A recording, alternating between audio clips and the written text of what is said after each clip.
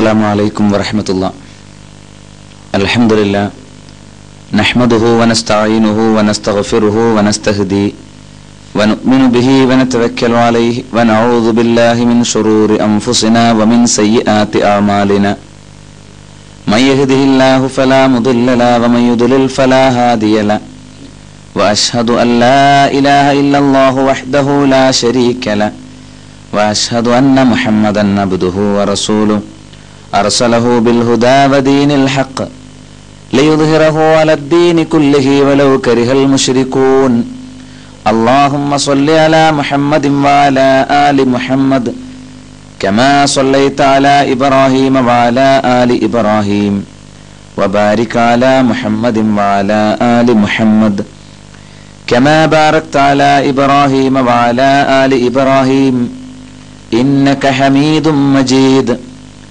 أما بعد فإن خير الكلام كلام الله وخير السنن سنن محمد صلى الله عليه وسلم وشر الأمور محدثاتها وكل محدثة بدعة وكل بدعة ضلالة وكل ضلالة في النار. يا أيها الذين آمنوا اتقوا الله حق تقاته ولا تموتن إلا وأنتم مسلمون. أعوذ بالله من الشيطان الرجيم ودعوه خوفا وطمعا إن رحمة الله قريب من المحسنين ബഹുമാന്യരായ ഹാജിമാരെ സർവശക്തനായ അള്ളാഹുവിന്റെ വിധിവിലക്കുകൾ നന്നായി പഠിച്ചു മനസ്സിലാക്കുകയും യഥാർത്ഥ മുഹ്സിനുകളായി മുസ്ലിങ്ങളായി മരണം വരെയും ജീവിതം ക്രമീകരിക്കുകയും ചെയ്യണമെന്ന് എല്ലാവരെയും ആമുഖമായി പ്രത്യേകം വസീയത്ത് ചെയ്യുകയാണ്. അള്ളാഹുവിന്റെ അരികിൽ സ്വീകാര്യമായ ആദർശം യാതൊരു വ്യതിയാനവും വരാതെ ഉറച്ച രീതിയിൽ സ്വീകരിക്കാനും ആ ആദർശത്തോട് നിരക്കുന്ന രീതിയിൽ നമ്മുടെ ജീവിതത്തിലെ എല്ലാ രംഗങ്ങളും ക്രമീകരിക്കാനും ചിട്ടപ്പെടുത്താനും അള്ളാഹു നമുക്ക് ഓരോരുത്തർക്കും തൗഫിയൊക്കെ ചൊരിയുമാറാവട്ടെ. അള്ളാഹുവിന്റെ അതിമഹത്തായ അനുഗ്രഹത്താൽ എല്ലാ നിലക്കും നമ്മുടെ അധ്വാനത്തോടുകൂടി സാമ്പത്തികമായും മാനസികമായും ശാരീരികമായും ആത്മീയമായും എല്ലാം തന്നെ ശക്തമായ വിനിമയത്തോടുകൂടി നാം നമ്മുടെ ഹജ്ജ് കർമ്മം നിർവഹിച്ചിരിക്കുകയാണ്. അലഹമില്ല ഇനി നാം നമ്മുടെ നാടുകളിലേക്ക് യാത്രയാകുന്നു. ഇന്നും നാളെയുമായി മുഴുവൻ ഹാജിമാരും അവരവർ അടുത്ത ദിവസങ്ങളിലായി അവരവരുടെ വീടുകളിലേക്ക് തിരിക്കുകയാണ്. ഇനി വീണ്ടും ഒരിക്കൽ കൂടി ഈ പുണ്യഭൂമിയിലേക്ക് കടന്നു വരാനും സുപ്രധാനമായ ഹജ്ജ് കർമ്മം നിർവഹിക്കുവാനും എത്ര പേർക്കാണ് അവസരമുണ്ടാവുക എന്ന് പറയാൻ കഴിയില്ല. ഭൂരിപക്ഷവും ഇനി തിരിച്ചു വരാൻ അവസരം ലഭിക്കാത്തവരായിരിക്കാം. അള്ളാഹു സുബാനഹുവത്താലായുടെ അരികിൽ ഓരോ ഇബാദത്ത് കൊണ്ടും അവൻ ലക്ഷ്യം വെച്ച കാര്യം പൂർത്തീകരിക്കാൻ സാധിക്കുന്നുണ്ടോ സാധിച്ചിട്ടുണ്ടോ എന്ന് ഒന്നാമതായി വിലയിരുത്തണം. നാം ഹജ്ജ് കർമ്മം കഴിഞ്ഞ് നാട്ടിലേക്ക് തിരിച്ചു പോകുമ്പോൾ ഒരു ഹാജിയുടെ ഗുണങ്ങൾ എന്തൊക്കെയായിരിക്കണം എന്നുള്ളത് പലപ്പോഴായി ഇവിടെ വിശദീകരിക്കപ്പെട്ടിട്ടുണ്ട്. ആ കാര്യങ്ങൾ ഓരോന്നും ഇനി മരണം വരെ നിലനിർത്തുക എന്നതാണ് ഏറ്റവും പ്രധാനപ്പെട്ട കാര്യം. കർമ്മങ്ങൾ ചെയ്യുക എന്നതുപോലെ അതല്ലെങ്കിൽ അതിനേക്കാളേറെ പ്രധാനമാണ് ചെയ്ത കർമ്മങ്ങൾ വീഴ്ച വരാതെ കാത്തുസൂക്ഷിക്കുക എന്നുള്ളത്. അതുമായി ബന്ധപ്പെട്ട അള്ളാഹുവിന്റെ താക്കീതുകളും ഇസ്ലാമിന്റെ നിർദ്ദേശങ്ങളും പല സന്ദർഭങ്ങളിലായി ഇവിടെ സൂചിപ്പിച്ചു. തൗഹീദിന്റെ ഏറ്റവും വ്യക്തമായ സന്ദേശങ്ങൾ പ്രഖ്യാപിക്കുകയും അതിന്റെ പ്രവർത്തനങ്ങളുമായി മുന്നോട്ട് നീങ്ങുകയും ചെയ്ത ഒരു ഇബാദത്താണ് മുഴുവൻ ഇബാദത്തുകൾ എന്നതുപോലെ തന്നെ ഹജ്ജ് എന്നും കാണാൻ സാധിക്കും. ഹജ്ജിന്റെ മുഖ്യമായ പ്രമേയം തന്നെ ആരാധനക്കർഹനായി അള്ളാഹു മാത്രമേ ഉള്ളൂ എന്നുള്ളതാണ്. ലബൈക്ക് അള്ളാഹു ലബൈക്ക് ലബൈക്ക് ലാ ലക ലബൈക്ക് ഇന്നൽ ഹംദ ലക വൽ മുൽക്ക് ലാ ശരീക ലക് അള്ളാഹുവെ നിന്റെ വിളിക്ക് ഞങ്ങൾ ഇതാ ഉത്തരം നൽകിയിരിക്കുന്നു. റബ്ബിന്റെ വിളിയാളം കേട്ട് തൗഹീദിന്റെ വിളിയാളവുമായി പ്രഖ്യാപനവുമായി നാം കടന്നു വന്നു സകല സ്തോത്രവും സകല അധികാരവും അള്ളാഹുവെ നിനക്കു മാത്രമാണ്. എല്ലാ അനുഗ്രഹങ്ങളും നിനക്കുള്ളതു തന്നെയാണ്. ഇന്നൽ ഹംദ മുൽക്ക് ലാ ശരീക ലക് നിനക്കു പങ്കാളികളില്ല. നിർണായകമായ ഒരു ഹാജിയുടെ പ്രഖ്യാപനം എത്ര തവണയാണ് നാം ഈ തെൽബിയെ തുരുവിട്ടത് നമുക്ക് തന്നെ അറിഞ്ഞുകൂടാ. രണ്ടാമതായി ഹാജി വർദ്ധിപ്പിച്ച ദിക്കർ പ്രത്യേകിച്ചും അറഫ മൈതാനിയിൽ വർദ്ധിപ്പിച്ച ദിക്കർ ലാ ഇലാഹ വഹ്ദഹു ലാ ലഹുൽ വലഹുൽ വഹുവ അലാ കുല്ലി ഖദീർ. അല്ലാഹുവേ നീ അല്ലാതെ ആരാധ്യനായി മറ്റാരുമില്ല. നീ ഒരുവൻ മാത്രമാണ്. നിനക്ക് പങ്കാളികളായി ആരും തന്നെയില്ല.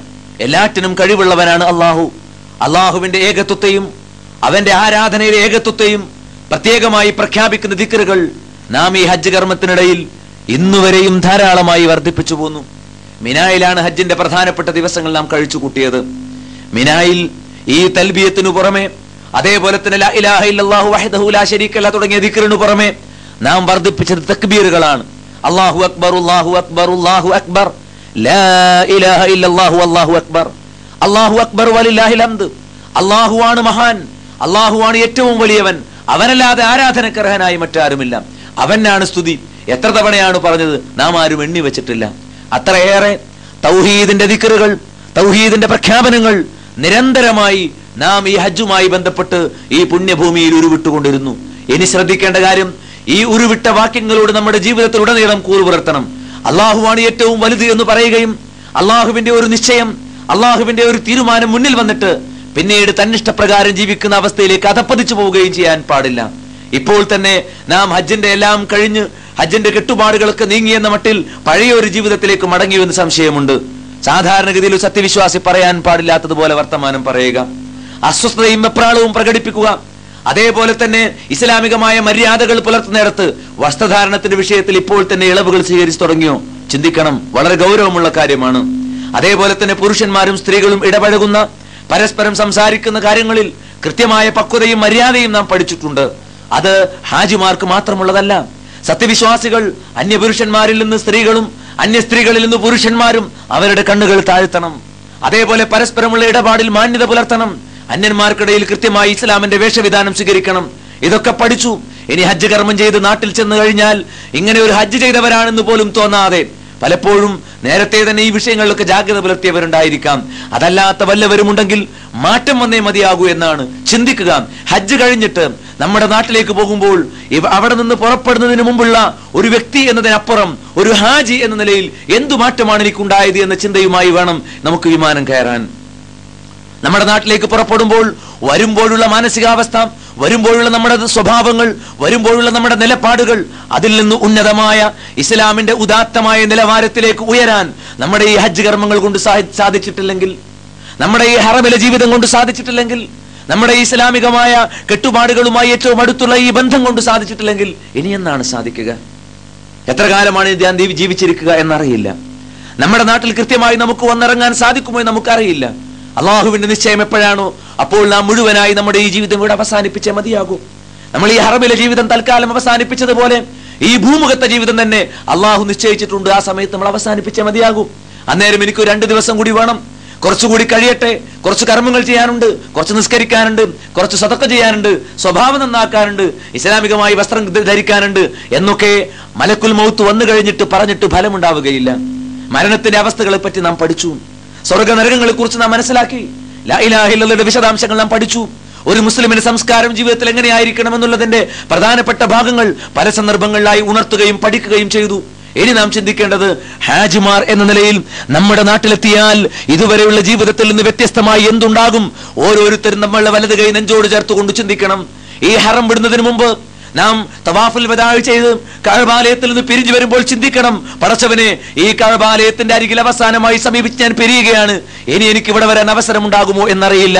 പുണ്യമായി ഈ ബാധത്തുകൾ ചെയ്ത് ഒരു ഉമ്മ പ്രസവിച്ച ദിവസത്തിൽ കലർപ്പില്ലാത്ത ശുദ്ധമായ മനസ്സുമായി മടങ്ങിപ്പോകുന്ന ഒരു കുഞ്ഞിനെ പോലെ ഹാജിക്ക് മടങ്ങാൻ കഴിയണമെങ്കിൽ പിറന്നു വീണത് വെച്ചാൽ ഒരു പാപവുമില്ലാത്ത പാപരഹിതമായ കളങ്കരഹിതമായ മനസ്സുമായി പിരിഞ്ഞു പോകാൻ കഴിയണമെങ്കിൽ പാപത്തിന്റെ അടയാളങ്ങൾ അള്ളാഹു ഇഷ്ടപ്പെടാത്ത പ്രവർത്തനങ്ങൾ അള്ളാഹു ഇഷ്ടപ്പെടാത്ത സ്വഭാവങ്ങൾ നമ്മുടെ നാട്ടിൽ ചെന്നാൽ ഇനി ഉണ്ടാകുമോ? ഓരോ ഹാജിമാരും അവരവരോട് പറയേണ്ട ഉത്തരമാണ്. ഞാൻ എന്നോട് പറയേണ്ട ഉത്തരമാണ്. ഇതിന്റെ മാറ്റം എന്താണ് എന്ന് തീരുമാനിച്ച് ശക്തിയും ത്യാഗവും സഹിച്ചുകൊണ്ട് പ്രയാസങ്ങൾ സഹിച്ചുകൊണ്ട് ഒഴുക്കിലേക്ക് ഇറങ്ങിച്ചല്ലാതെ ഞാനൊരു ഹാജിയാണ് ഞാനൊരു മുഅ്മിനാണ് ഞാനൊരു മുവഹിദാണ് ഹൃദയം ശുദ്ധീകരിച്ച് തിരിച്ചു വന്നവനാണ്. അതിന്റെ വ്യത്യാസം ഇനി മരണം വരെയും കാത്തു സൂക്ഷിക്കണം എന്നുള്ള ഒരു തീരുമാനം എല്ലാവരിലും ഉണ്ടായിരിക്കണമെന്നാണ് എനിക്ക് പറയാനുള്ളത്. സ്വർഗം നമുക്ക് നിർബന്ധമാക്കാൻ ആവശ്യമായ നിർദ്ദേശങ്ങൾ മുഴുവൻ അള്ളാഹുവിന്റെ അനുഗ്രഹത്താൽ വിശുദ്ധ ഖുർആാനിലൂടെ ആ ഖുർആാനിനെ വിശദീകരിച്ചുകൊണ്ട് റസൂലുള്ളാഹി സ്വല്ലല്ലാഹു അലൈഹി വസ്ലമയിലൂടെ നമുക്ക് ലഭിച്ചു. ഒന്നും നമുക്ക് മനസ്സിലായിട്ടില്ല. സ്വർഗത്തിലേക്കുള്ള വഴി അറിഞ്ഞില്ല എന്ന് ആർക്കും പറയാൻ കഴിയില്ല. അറഫ മൈതാനിയിൽ പതിനായിരക്കണക്കായ ജനങ്ങളെ അഭിമുഖീകരിച്ചുകൊണ്ട് റസൂലുള്ളാഹി പറയുന്ന ഒരു കാര്യമുണ്ട്. എന്നെ കുറിച്ച് നിങ്ങൾ ചോദ്യം ചെയ്യപ്പെടും. പ്രവാചകനെ കുറിച്ച് പ്രവാചകന്റെ അനുചരന്മാരോട് ചോദ്യം ചെയ്യും. അഥവാ മറ്റു റിപ്പോർട്ടിൽ മസ്ഊലൂന അന്നി എന്നെ കുറിച്ച് നിങ്ങൾ ചോദ്യം ചെയ്യപ്പെടുന്നവർ തന്നെയാണ്. അള്ളാഹു ചോദിക്കുമ്പോൾ നിങ്ങൾ എന്തു പറയും?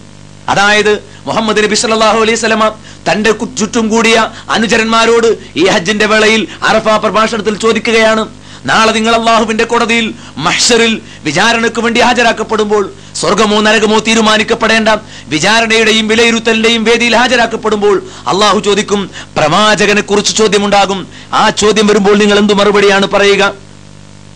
ഈ നമുക്കൊക്കെ ബാധകമാണ് പ്രവാചകന്റെ ഈ ചോദ്യം. പ്രവാചകനെ കുറിച്ച് നമ്മളോട് ചോദിക്കും എന്താണ്? സ്വർഗത്തിലേക്ക് എത്താനും നരകാകിൽ രക്ഷപ്പെടാനും ആവശ്യമായ മുഴുവൻ നിർദ്ദേശങ്ങളും നമുക്ക് എത്തിച്ചു തന്നില്ലേ ഹാജിമാരായ ഓരോരുത്തരും അവരവരുടെ ഹൃദയത്തിൽ കൈ ചേർത്തുകൊണ്ട് ചിന്തിക്കുക. നമ്മോട് ഇങ്ങനെ ഒരു ചോദ്യം ചോദിക്കുമ്പോൾ എന്തു മറുപടി പറയണം? സ്വഹാബത്ത് പറയുന്നു റബ്ബിക. തീർച്ചയായും നിന്റെ രക്ഷിതാവിന്റെ സന്ദേശങ്ങൾ മുഴുവൻ നീ ഞങ്ങൾക്ക് എത്തിച്ചു തന്നിട്ടുണ്ട്. ഹാജിമാരെ ഇസ്ലാമിന്റെ സന്ദേശം സ്വർഗത്തിലേക്ക് എത്താനുള്ള സന്ദേശം നമുക്ക് എത്തിയിട്ടുണ്ട് എന്ന് പറയാൻ നമുക്ക് സാധിക്കുകയില്ലേ? അഥവാ എത്തിയിട്ടില്ല എന്ന് പറഞ്ഞ് രക്ഷപ്പെടാൻ കഴിയുമോ? ഒരിക്കലുമില്ല. നാം ഇസ്ലാമിന്റെ സന്ദേശം മനസ്സിലാക്കിയവരാണ്. വിശുദ്ധ ഖുർആൻ അറിയാൻ അവസരമുണ്ടായവരാണ്. പ്രവാചകന്റെ ചര്യ പഠിക്കാനും ഉൾക്കൊള്ളാനും അവസരമുണ്ടായവരാണ്. അതുകൊണ്ടൊന്നും എത്തിയില്ല അറിഞ്ഞില്ല എന്ന് പറയാൻ കഴിയില്ല. സ്വഹാബത്ത് പറയുന്നു. താങ്കൾ ഞങ്ങൾക്ക് സന്ദേശം എത്തിച്ചു തന്നു. താങ്കളുടെ ദൗത്യം താങ്കൾ നിർവഹിച്ചു. അഥവാ അല്ലതി താങ്കൾ നിർവഹിക്കേണ്ടിയിരുന്ന ഞങ്ങൾക്ക് താങ്കൾ എത്തിച്ചു തരേണ്ടിയിരുന്ന കാര്യം അത് നിർവഹിച്ചു. അതുകൊണ്ട് അതുകൊണ്ട് തന്നെ നമ്മൾ വളരെ ചിന്തിക്കേണ്ട കാര്യം പ്രവാചകൻ സല്ലാ അലിസ്ലം പറയുകയാണ് അദ്ദേഹത്തിന്റെ കൈ ആകാശത്തേക്ക് ഉയർത്തിക്കൊണ്ട് ആ ജനങ്ങളോട് പ്രവാചകൻ സല്ലല്ലാഹു അലൈഹി വസല്ലം പ്രഖ്യാപിക്കുകയാണ് അല്ലാഹും മഷ്ഹദ് അല്ലാഹും മഷ്ഹദ് അല്ലാഹും മഷ്ഹദ് അല്ലാഹുവേ നീ സാക്ഷി സ്വർഗത്തിലേക്കുള്ള വഴി ദീനുൽ ഇസ്ലാം ഞാൻ ഇതാ ഇവരെ പഠിപ്പിച്ചിരിക്കുന്നു. പ്രിയപ്പെട്ട ഹാജിമാരെ സ്വർഗത്തിലേക്കുള്ള മാർഗം എന്താണ് എന്ന് ഞങ്ങൾ പഠിച്ചില്ല എന്ന് പറയാൻ നിങ്ങൾക്ക് ആർക്കെങ്കിലും സാധിക്കുമോ? ഇല്ല. അള്ളാഹു സാക്ഷിയാണ് ആ കാര്യത്തിൽ നമുക്ക് വ്യക്തമായ ബോധമുണ്ടാകണം. പരലോക ജീവിതവുമായി ബന്ധപ്പെട്ട് തൗഹീദിനും സുന്നത്തിനുമുള്ള പ്രാധാന്യം നിങ്ങൾ വളരെ വ്യക്തമായി മനസ്സിലാക്കിയിട്ടുണ്ട്. തൗഹീദിൽ പിഴച്ചാൽ പരലോകത്തിൽ എന്താണ് പ്രശ്നം? പരലോകത്തിൽ ഇന്നഹു മനുഷ്യർക്ക് ബില്ലാഹി ഫഖദ് ഹറമല്ലാഹു അലൈഹിൽ ജന്ന. ആരാധനയിൽ പിഴച്ചാൽ പ്രാർത്ഥനയിലും നേർച്ച വഴിപാടുകളിലും പിഴച്ചാൽ സൃഷ്ടികൾക്കാണ് അത് അർപ്പിക്കുന്നത് എങ്കിൽ മക്ബറകളിലും അതേപോലെ തന്നെ സിദ്ധന്മാർക്കും ഔലിയാക്കന്മാർക്കും തങ്ങന്മാർക്കും ഒക്കെ റബ്ബിന് മാത്രം വകവെച്ചു കൊടുക്കേണ്ട യോഗ്യതകളും പ്രാർത്ഥനകളും നേർച്ചകളും വഴിപാടുകളും ബറക്കത്തുമെല്ലാം തന്നെ ഈ സൃഷ്ടികൾക്ക് വകവെച്ചു കൊടുക്കുകയും സൃഷ്ടികളിൽ നിന്ന് ബറക്കത്ത് തേടുക സൃഷ്ടികളോട് പ്രാർത്ഥിക്കുക അതേപോലെ പിന്നെ അവർ അവരോട് അഭയമർപ്പിക്കുക എന്ന ഒരു നിലവാരത്തിലേക്ക് പോയാൽ ഫഖദ് ഹറമല്ലാഹു അലൈഹിൽ ജന്ന അള്ളാഹു അവന് സ്വർഗം നിഷിദ്ധമാക്കിയിരിക്കുന്നു. അവന്റെ സങ്കേതം നരകാഗ്നിയാണ്. അത്തരം ബഹുദൈവാരാധകരായ അള്ളാഹു അല്ലാത്തവരെ വിളിച്ചു തേടുകയോ അള്ളാഹു അല്ലാത്തവരോട് ഇസ്തഹാസ ചെയ്യുകയോ ചെയ്യുന്ന ആളുകളെ സംബന്ധിച്ചിടത്തോളം അവരുടെ സങ്കേതം നരകാഗ്നിയാണ്. സ്വർഗം അവർക്ക് നിഷിദ്ധമായി അത്തരം ലുൽമ പ്രവർത്തിച്ച ഷിർക്കാകുന്ന ലുൽമ പ്രവർത്തിച്ചവർക്ക് സഹായികളായി അൻസാർ പരലോകത്ത് ആരും ഉണ്ടാവുകയില്ല. ഈ ഒരു ബോധം നമുക്കുണ്ടാകണം. അതുകൊണ്ട് ഹാജിമാരായ നാം ഒന്നാമതായി ശ്രദ്ധിക്കേണ്ടത് ഹജ്ജിന്റെ സന്ദേശമായ തെൽബിയത്തിന്റെ സന്ദേശം ലാ ഇലാഹ ഇല്ലല്ലയുടെ സന്ദേശം അതേപോലെ തന്നെ നമ്മുടെ മുഴുവൻ ദിക്കറുകളുടെയും സന്ദേശം അള്ളാഹു അക്ബറിന്റെ തക്ബീറിന്റെ സന്ദേശം അത് നമുക്ക് ജീവിതത്തിൽ ഉയർത്തിപ്പിടിക്കാൻ കഴിയണം. അതോടൊപ്പം ശ്രദ്ധിക്കേണ്ട ഒരു കാര്യം രണ്ട് ദൗത്യം നമുക്കുണ്ട്. നാം ലാ ഇലാഹ ഇല്ലല്ല ഉൾക്കൊണ്ടുകൊണ്ട് പ്രവാചകന്റെ ചര്യ അനുസരിച്ച് ജീവിച്ചാൽ മതിയാവുകയില്ല. മറിച്ച് ലാ ഇലാഹ ഇല്ലല്ലയുടെ വെളിച്ചം ഉൾക്കൊള്ളാത്ത എത്രയോ പേർ നമ്മുടെ അയൽപ്പക്കത്തുണ്ട് ഹജ്ജിന്റെ വേളയിൽ പോലും ഷിർക്കിന്റെ പ്രവർത്തനങ്ങൾ ചെയ്യുന്നവർ ഹജ്ജിൽ പോലും പ്രവാചകന്റെ ചര്യ ഉപേക്ഷിച്ചുകൊണ്ട് വിദ്യാർത്ഥികൾ പ്രവർത്തിക്കുന്നവർ അവരെ തിരുത്തേണ്ട ഒരു ചുമതല നമുക്കുണ്ട്. അറിഞ്ഞ കാര്യങ്ങൾ അറിയിച്ചു കൊടുക്കണം. പ്രബോധന പ്രവർത്തനം. ഒരുപക്ഷെ എല്ലാവരും ഹാജിമാരായ മുഴുവൻ ആളുകളും ഇക്കാലം അത്രയും ധർമ്മ പ്രവർത്തനങ്ങൾ വേണ്ട രൂപത്തിൽ സജീവമായവരായിക്കൊള്ളണമെന്നില്ല. പ്രായവ്യത്യാസം നിങ്ങൾ നോക്കരുത്. നിങ്ങളുടെ പ്രായത്തെക്കുറിച്ച് നിങ്ങൾ വേവലാതിപ്പെടരുത്. അള്ളാഹു എത്രയാണോ അനുവദിക്കുന്നത് അറിവും ആരോഗ്യവും തരുന്നത്. നാം ഇവിടെ വെച്ചൊരു തീരുമാനമെടുക്കണം എന്റെ പ്രിയപ്പെട്ട ഹാജിമാരെ. ഈ തൗഹീദിന്റെ നാട്ടിൽ ജീവിക്കാൻ കുറച്ചു നാൾ അവസരമുണ്ടായിട്ട് അതിമഹത്തായ ഹജ്ജ് കർമ്മം നിർവഹിക്കാൻ അവസരമുണ്ടായിട്ട് നാട്ടിൽ തിരിച്ചെത്തിയിട്ട് യാതൊന്നും ഞാൻ അറിഞ്ഞിട്ടില്ല. നരകത്തിലേക്ക് പോകുന്ന കാര്യങ്ങളെപ്പറ്റി ഞാൻ മനസ്സിലാക്കിയിട്ടില്ല എന്ന ഒരു നിലപാടോടുകൂടി നിങ്ങൾ ആരും തിരിച്ചു പോകരുത്. മറിച്ച് നരകത്തിലേക്ക് പോകുന്ന പ്രവർത്തനങ്ങൾ ചെയ്യുന്ന ബന്ധുക്കൾ ഉണ്ടാകും നമുക്ക്. നമ്മുടെ വീട്ടിലുണ്ടാകും അയൽപ്പക്കത്തുണ്ടാകും നാട്ടുകാരുണ്ടാകും നമുക്ക്. അവരോട് ഗുണകാംക്ഷയോടുകൂടി തൗഹീദിന്റെ സന്ദേശം പറയാൻ നിങ്ങൾ ശീലിക്കണം. ഒരാളെങ്കിലും നിങ്ങളുടെ നാവിൽ നിന്ന് തൗഹീദിന്റെ ശബ്ദം പഠിച്ചാൽ എത്രമാത്രം വലിയ പ്രതിഫലമായിരിക്കും അള്ളാഹു നൽകുക? പലരും നമ്മോട് തൗഹീദിന്റെ സന്ദേശം അറിയിച്ചതിന്റെ പേരിലാണല്ലോ നാം ശിർക്കുകൾ വർജിച്ചിട്ടുണ്ടാവുക വിദേഹത്തുകൾ ഒഴിവാക്കിയിട്ടുണ്ടാവുക. അതേപോലെ നമ്മുടെ ഒരു വാക്ക് കേട്ട് ഒരാൾ ഹിദായത്തിലേക്ക് വന്നാൽ ഇതാ നിങ്ങൾ നൂറ് ചുവന്ന ഒട്ടകം സമ്പാദിക്കുന്നതിനേക്കാൾ വലുതാണ് എന്ന് അലൈഹി വസല്ലം പഠിപ്പിച്ചു അതുകൊണ്ട് ദഴവാരംഗത്ത് എന്തൊക്കെ ചെയ്യാൻ പറ്റും? ഉപദേശം കൊണ്ട്. അതേപോലെ ദഅവത്തിന് വേണ്ടിയുള്ള സൗകര്യം നമ്മുടെ നാട്ടിൽ ഒരുക്കിക്കൊണ്ട്. ശരിയായ ഇസ്ലാമിനെ പരിചയപ്പെടുത്താൻ വേണ്ടിയുള്ള പണ്ഡിതന്മാരെ നിങ്ങളുടെ നാട്ടിൽ കൊണ്ടുവരികയും നിങ്ങളുടെ ഈ കാര്യം അറിഞ്ഞുകൂടാത്ത നാട്ടുകാർക്ക് അത് അറിയാൻ അവസരം ഉണ്ടാക്കി കൊടുക്കുകയും ചെയ്തുകൊണ്ട് അത്തരം പ്രവർത്തനങ്ങൾ നിർവഹിക്കുന്നതിൽ സാമ്പത്തികമായും ശാരീരികമായും ആളുകളെ കൊണ്ടുചെന്നും സഹകരിച്ചുകൊണ്ട് അതേപോലെ നിങ്ങൾ ഇസ്ലാമിന്റെ സന്ദേശം പ്രചരിപ്പിക്കുന്ന കേസറ്റുകൾ നിങ്ങൾ ഒരുപാട് സീഡികൾ കൊണ്ടുപോകുന്നുണ്ട്. ഒരുപാട് പുസ്തകങ്ങൾ നിങ്ങൾ കൈവശപ്പെടുത്തിയിട്ടുണ്ട്.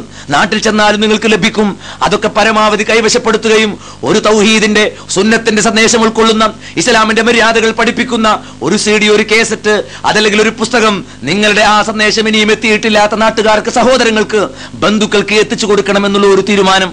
ഇനി മരണം വരെ വെറുതെ ഇരിക്കുന്നവരല്ല നമ്മൾ. ഓരോ ദിവസം എടുത്തു ചോദിച്ചാലും എന്തെങ്കിലും ഒന്ന് ചെയ്തിട്ടുണ്ടാകണം അള്ളാഹുവിന്റെ മാർഗത്തിൽ. പരലോകത്തേക്ക് കോപ്പ് കൂട്ടണം എങ്കിലേ അത്യുന്നതമായ ജന്നാത്തുൽ ഫിർദൗസിൽ എത്തിച്ചേരാൻ അവസരമുണ്ടാവുകയുള്ളൂ.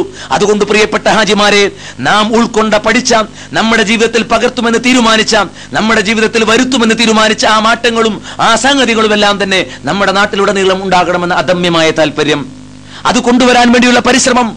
അതുകൊണ്ട് മറ്റൊരാളെ കാത്തു നിൽക്കാതെ ഒരാളുടെ ഉപദേശം കേൾക്കാൻ വേണ്ടി കാത്തു നിൽക്കാതെ ഇതാ ഞാൻ ചെയ്യും ഓരോ ദിവസവും ഒരു കാര്യമെങ്കിലും അള്ളാഹുവിന്റെ സന്ദേശം ഒരാൾക്കെങ്കിലും ഞാൻ എത്തിച്ചു കൊടുക്കുമെന്നുള്ള ഒരു തീരുമാനവുമായി പ്രിയപ്പെട്ട ഹാജിമാർ തിരിച്ചു പോകണം എന്നാണ് എനിക്ക് പറയുവാനുള്ളത്. സുന്നത്ത് പ്രവാചകന്റെ ചര്യയിൽ നിന്ന് വിട്ടുമാറിയാൽ എന്താണ്? നിങ്ങൾ എന്റെ ചര്യ മുറുകെ പിടിക്കണം അഭിപ്രായ വ്യത്യാസങ്ങൾ ഉണ്ടായാൽ അതേപോലെ പ്രവാചകന്റെ ചുറ്റും ദീന് പഠിച്ച പൂർവികരുടെ ഹുലഫായുടെ ചരി നാം മുറുകെ പിടിക്കണം എന്നാണ് പ്രവാചകന്റെ കൽപ്പന. അണപ്പല്ല് കൊണ്ട് അത് മുറുകെ പിടിക്കണം. മൻ അമിലാമലൻ റബ്ബ് നമ്മുടെ പ്രവാചകന്റെ കൽപ്പനയില്ലാത്ത ഏതെങ്കിലും ഒരു ഇബാദത്ത് നമ്മൾ ചെയ്താൽ ഒരു പ്രവർത്തനം നാം നിർവഹിച്ചാൽ അത് തള്ളേണ്ടതാണ്. പടച്ചവന്റെ അരികിൽ പരിഗണിക്കപ്പെടുകയില്ല എന്ന ബോധം നമുക്ക് ഉണ്ടായിരിക്കണം അപ്പൊ പടച്ചവന്റെ കൽപ്പനയുള്ള കാര്യം ദീനിൽ ഉൾപ്പെട്ട കാര്യം ഖുർആാനും സുന്നത്തും അനുസരിച്ചുള്ള പ്രവർത്തനങ്ങളും ഇബാദത്തുകളും ആചാരങ്ങളും അത് മാത്രമേ നമ്മുടെ ജീവിതത്തിൽ ഉണ്ടാകാൻ പാടുള്ളൂ. മറിച്ച് എല്ലാ പ്രഭാഷണങ്ങളും തുടക്കത്തിൽ പ്രവാചകൻ പറഞ്ഞ കാര്യം നിരന്തരമായി നാം കേട്ടുകൊണ്ടിരിക്കുന്ന കാര്യം അറിയുക ഏറ്റവും ഉത്തമമായ വചനം വിശുദ്ധ ഖുർആനാണ് കലാമുള്ളയാണ്. അള്ളാഹുവിന്റെ കലാമാണ്. പിന്നെയോ മുഹമ്മദിൻ സ്വല്ലല്ലാഹു അലൈഹി വസല്ലം. ചര്യകളിൽ ഏറ്റവും മികച്ചത് പ്രവാചകന്റെ ചര്യയാണ്. മനസ്സിലായില്ലേ? മുഹമ്മദിൻ നാം പ്രവർത്തിക്കുന്ന പ്രവർത്തനങ്ങളിൽ നാം ഇടപെടുന്ന കാര്യങ്ങളിൽ ഏറ്റവും മോശമായത് നികൃഷ്ടമായത് നാശകരമായത് അത് പുതുതായി ഉണ്ടാക്കുന്ന കാര്യങ്ങളാണ്. എല്ലാ പുതുതായി ഉണ്ടാക്കുന്ന കാര്യങ്ങളും അത് ബിദത്താണ്. നവീന നിർമ്മിതിയാണ് പുത്തനാചാരമാണ്. വക്കുല്ല ബിദ്അത്തിൻ ദലാല. എല്ലാ ബിദത്തും വഴികേടാണ് ഹിദായത്തിന് നേരെതിരാണ് ദുർമാർഗമാണ്. വക്കുല്ല ദലാലത്തിൻ ഫിന്നാർ. എല്ലാ വഴികേടും നരകാഗ്നിയിലാണ് ഈ ബോധമുണ്ടാകണം. അതുകൊണ്ട് താൽക്കാലികമായ ഒരു നിലനിൽപ്പിനു വേണ്ടി വഴികേടിനെയും വിദേഹത്തിനെയും നരകത്തിലേക്കുള്ള മാർഗത്തെയും അംഗീകരിക്കാൻ പാടില്ല. നമ്മൾ അതിൽ ഒരു അഴകുഴമ്പൻ സമീപനം സ്വീകരിക്കാൻ പാടില്ല. വ്യക്തമായി തെളിവിന്റെ അടിസ്ഥാനത്തിൽ ബോധ്യപ്പെട്ട ഒരു സുന്നത്ത് അത് മുറുകെ പിടിക്കുകയും അതേപോലെ വിദേഹത്താണ് എന്ന് ബോധ്യപ്പെട്ട ഒരു കാര്യം കുടുംബത്തെ പ്രീതിപ്പെടുത്താനോ നാട്ടുകാരെ പ്രീതിപ്പെടുത്താനോ വേണ്ടി സഹകരിക്കാതെ വർജിക്കുകയും ചെയ്യാനുള്ള കരുത്തുറ്റ തീരുമാനമുണ്ടാകണം. നരകം എന്ന് പറഞ്ഞാൽ നിസ്സാരമായ ഒരു സംഗതിയല്ല. നരകത്തിന്റെ ഏറ്റവും ചെറുത് നമ്മുടെ നാട്ടിലെ അടുപ്പിൽ കത്തിക്കുന്ന തീയിന്റെ എഴുപതിരട്ടിയാണ് ഇത് അലൈഹി വസല്ലം പഠിപ്പിച്ചിട്ടുണ്ട്. നരകത്തിലെ ഏറ്റവും ചെറിയ ശിക്ഷ ഒരു ജോഡി ചെരുപ്പാണെന്നും ആ ചെരുപ്പ് ധരിച്ചാൽ അവന്റെ തലച്ചോറ് തിളച്ചുമറിയുമെന്നും അത് സഹിക്കാൻ കഴിയാതെ പല്ലിളിച്ച് കാട്ടി പടച്ചവനെ എന്തിനാണ് നീ എനിക്ക് ഏറ്റവും വലിയ ശിക്ഷ തരുന്നത് എന്ന് വിലപിച്ചുകൊണ്ടിരിക്കുകയും ചെയ്യാൻ മാത്രമാണ് നരകത്തിന്റെ ഏറ്റവും ചെറിയ ശിക്ഷ. വിശദമായി നാം കുറെ കാര്യങ്ങളൊക്കെ മനസ്സിലാക്കിയിട്ടുണ്ട്. അതുകൊണ്ട് നമ്മുടെ ഒന്നാമത്തെ ആവശ്യം നരകത്തിൽ നിന്ന് രക്ഷപ്പെടലാണ് അതേപോലെ സ്വർഗ സ്വർഗത്തിൽ പ്രവേശിക്കാൻ അവസരമുണ്ടാകലാണ്. അത് കഴിഞ്ഞിട്ടാണ് ദുനിയാവിന്റെ എല്ലാം. അതുകൊണ്ട് പരലോകം മറന്നുകൊണ്ടുള്ള പരലോകവുമായി ബന്ധപ്പെടാതെയുള്ള ഒരു പ്രവർത്തനമോ ഒരു ഒരു സംസ്കാരമോ ഒരു സംസാരമോ നമ്മിൽ നിന്നുണ്ടാകാൻ പാടില്ല. അല്ല നിങ്ങൾക്ക് നൽകിയ ഓരോ കാര്യത്തിലും ഓരോ സന്ദർഭത്തിലും നിങ്ങൾ പരലോകത്തെ തേടിക്കൊള്ളണം. ഒലാ തൻസന ദുനിയ. ദുനിയാവിലെ നിങ്ങൾ ഓഹരി നിങ്ങൾ മറക്കേണ്ടതും ഇല്ല എന്ന് വിശുദ്ധ ഖുർആൻ അൽ ഖസസൂറയുടെ അവസാന ഭാഗത്ത് പഠിപ്പിക്കുന്നത് കാണാൻ സാധിക്കും. നമ്മൾ വളരെ ശ്രദ്ധിക്കേണ്ട ഒരു കാര്യമാണ്. അതേപോലെ തന്നെ ചില മര്യാദകൾ അനുബന്ധമായി നാം ഓർക്കണം. അബ- Abul Abbas Sahl bin Saidi പറയുകയാണ് ഒരിക്കൽ നബി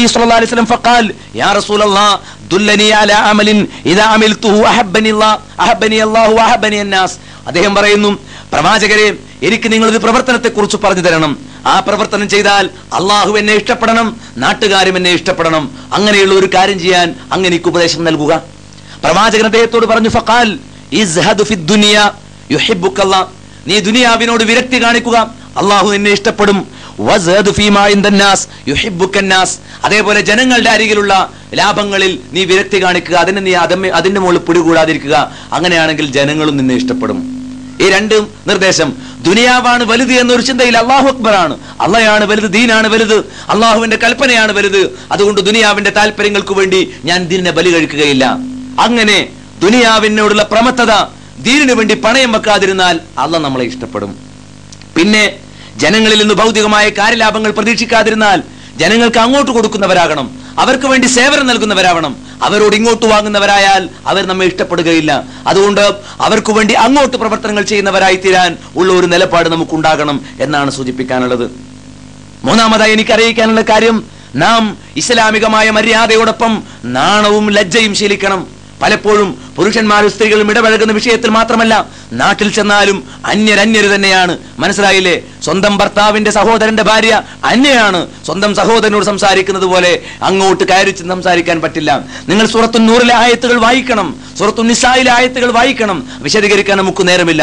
ആരോട് ആരൊക്കെയാണ് മഹറമുകൾ? ആ മഹറമിന്റെ മര്യാദകൾ നാം നമ്മുടെ നാട്ടിൽ ചെന്നാലും പാലിക്കണം. സ്വന്തം സഹോദരങ്ങളോട് സ്വന്തം ഭർത്താവിനോട് പിതാവിനോട് മാതാവിനോട് ഇടപഴകുന്നത് പോലെ അന്യരോട് അയൽക്കാരോട് ബന്ധുമിത്രാദികളോട് ഇടപഴകുന്ന രീതി സ്ത്രീകൾക്കും ശരിയല്ല പുരുഷന്മാർക്കും ശരിയല്ല. നാണമുണ്ടായിരിക്കണം. നാണമില്ലാതെ പുരുഷന്മാരുടെ കൂടെ തിങ്ങിച്ചേർന്ന് യാത്ര ചെയ്യാനും അതേപോലെ ഉറക്ക സംസാരിക്കാനും ഇപ്പൊ തന്നെ ചില ഹാജിമാരൊക്കെ ഇങ്ങനെ ഉറക്കുറക്ക് വർത്താനം പറയുന്നത് കേട്ടു. ഞാൻ വിചാരിച്ചു ഹജ്ജ് ഇങ്ങനെ കുറഞ്ഞു പോകണം കരുതിക്കൂട്ടിയല്ല. അന്യ പുരുഷന്മാരൊക്കെ ഉള്ളിടത്ത് ഉറക്കിങ്ങനെ വർത്താനം പറയാൻ പാടില്ല എന്ന് പലപ്പോഴും പറഞ്ഞാണ്. ഇവിടുത്തെ കാര്യമല്ല ഞാൻ പറയുന്നത്. നാട്ടിൽ ചെന്നാൽ കൃത്യമായി ഇസ്ലാമികമായ ലജ്ജ. നാണം നമ്മൾ പാലിക്കണം. പ്രവാചകന്റെ ഒരു ഒരു ഉത്ബോധനമുണ്ട് ഒരു താക്കീതുണ്ട്. സൊഹേഹുൽ ബുഖാരിയിൽ നമുക്ക് വായിക്കാം. ഇന്നമിമ്മ അതരക്കന്നാസുമിൻ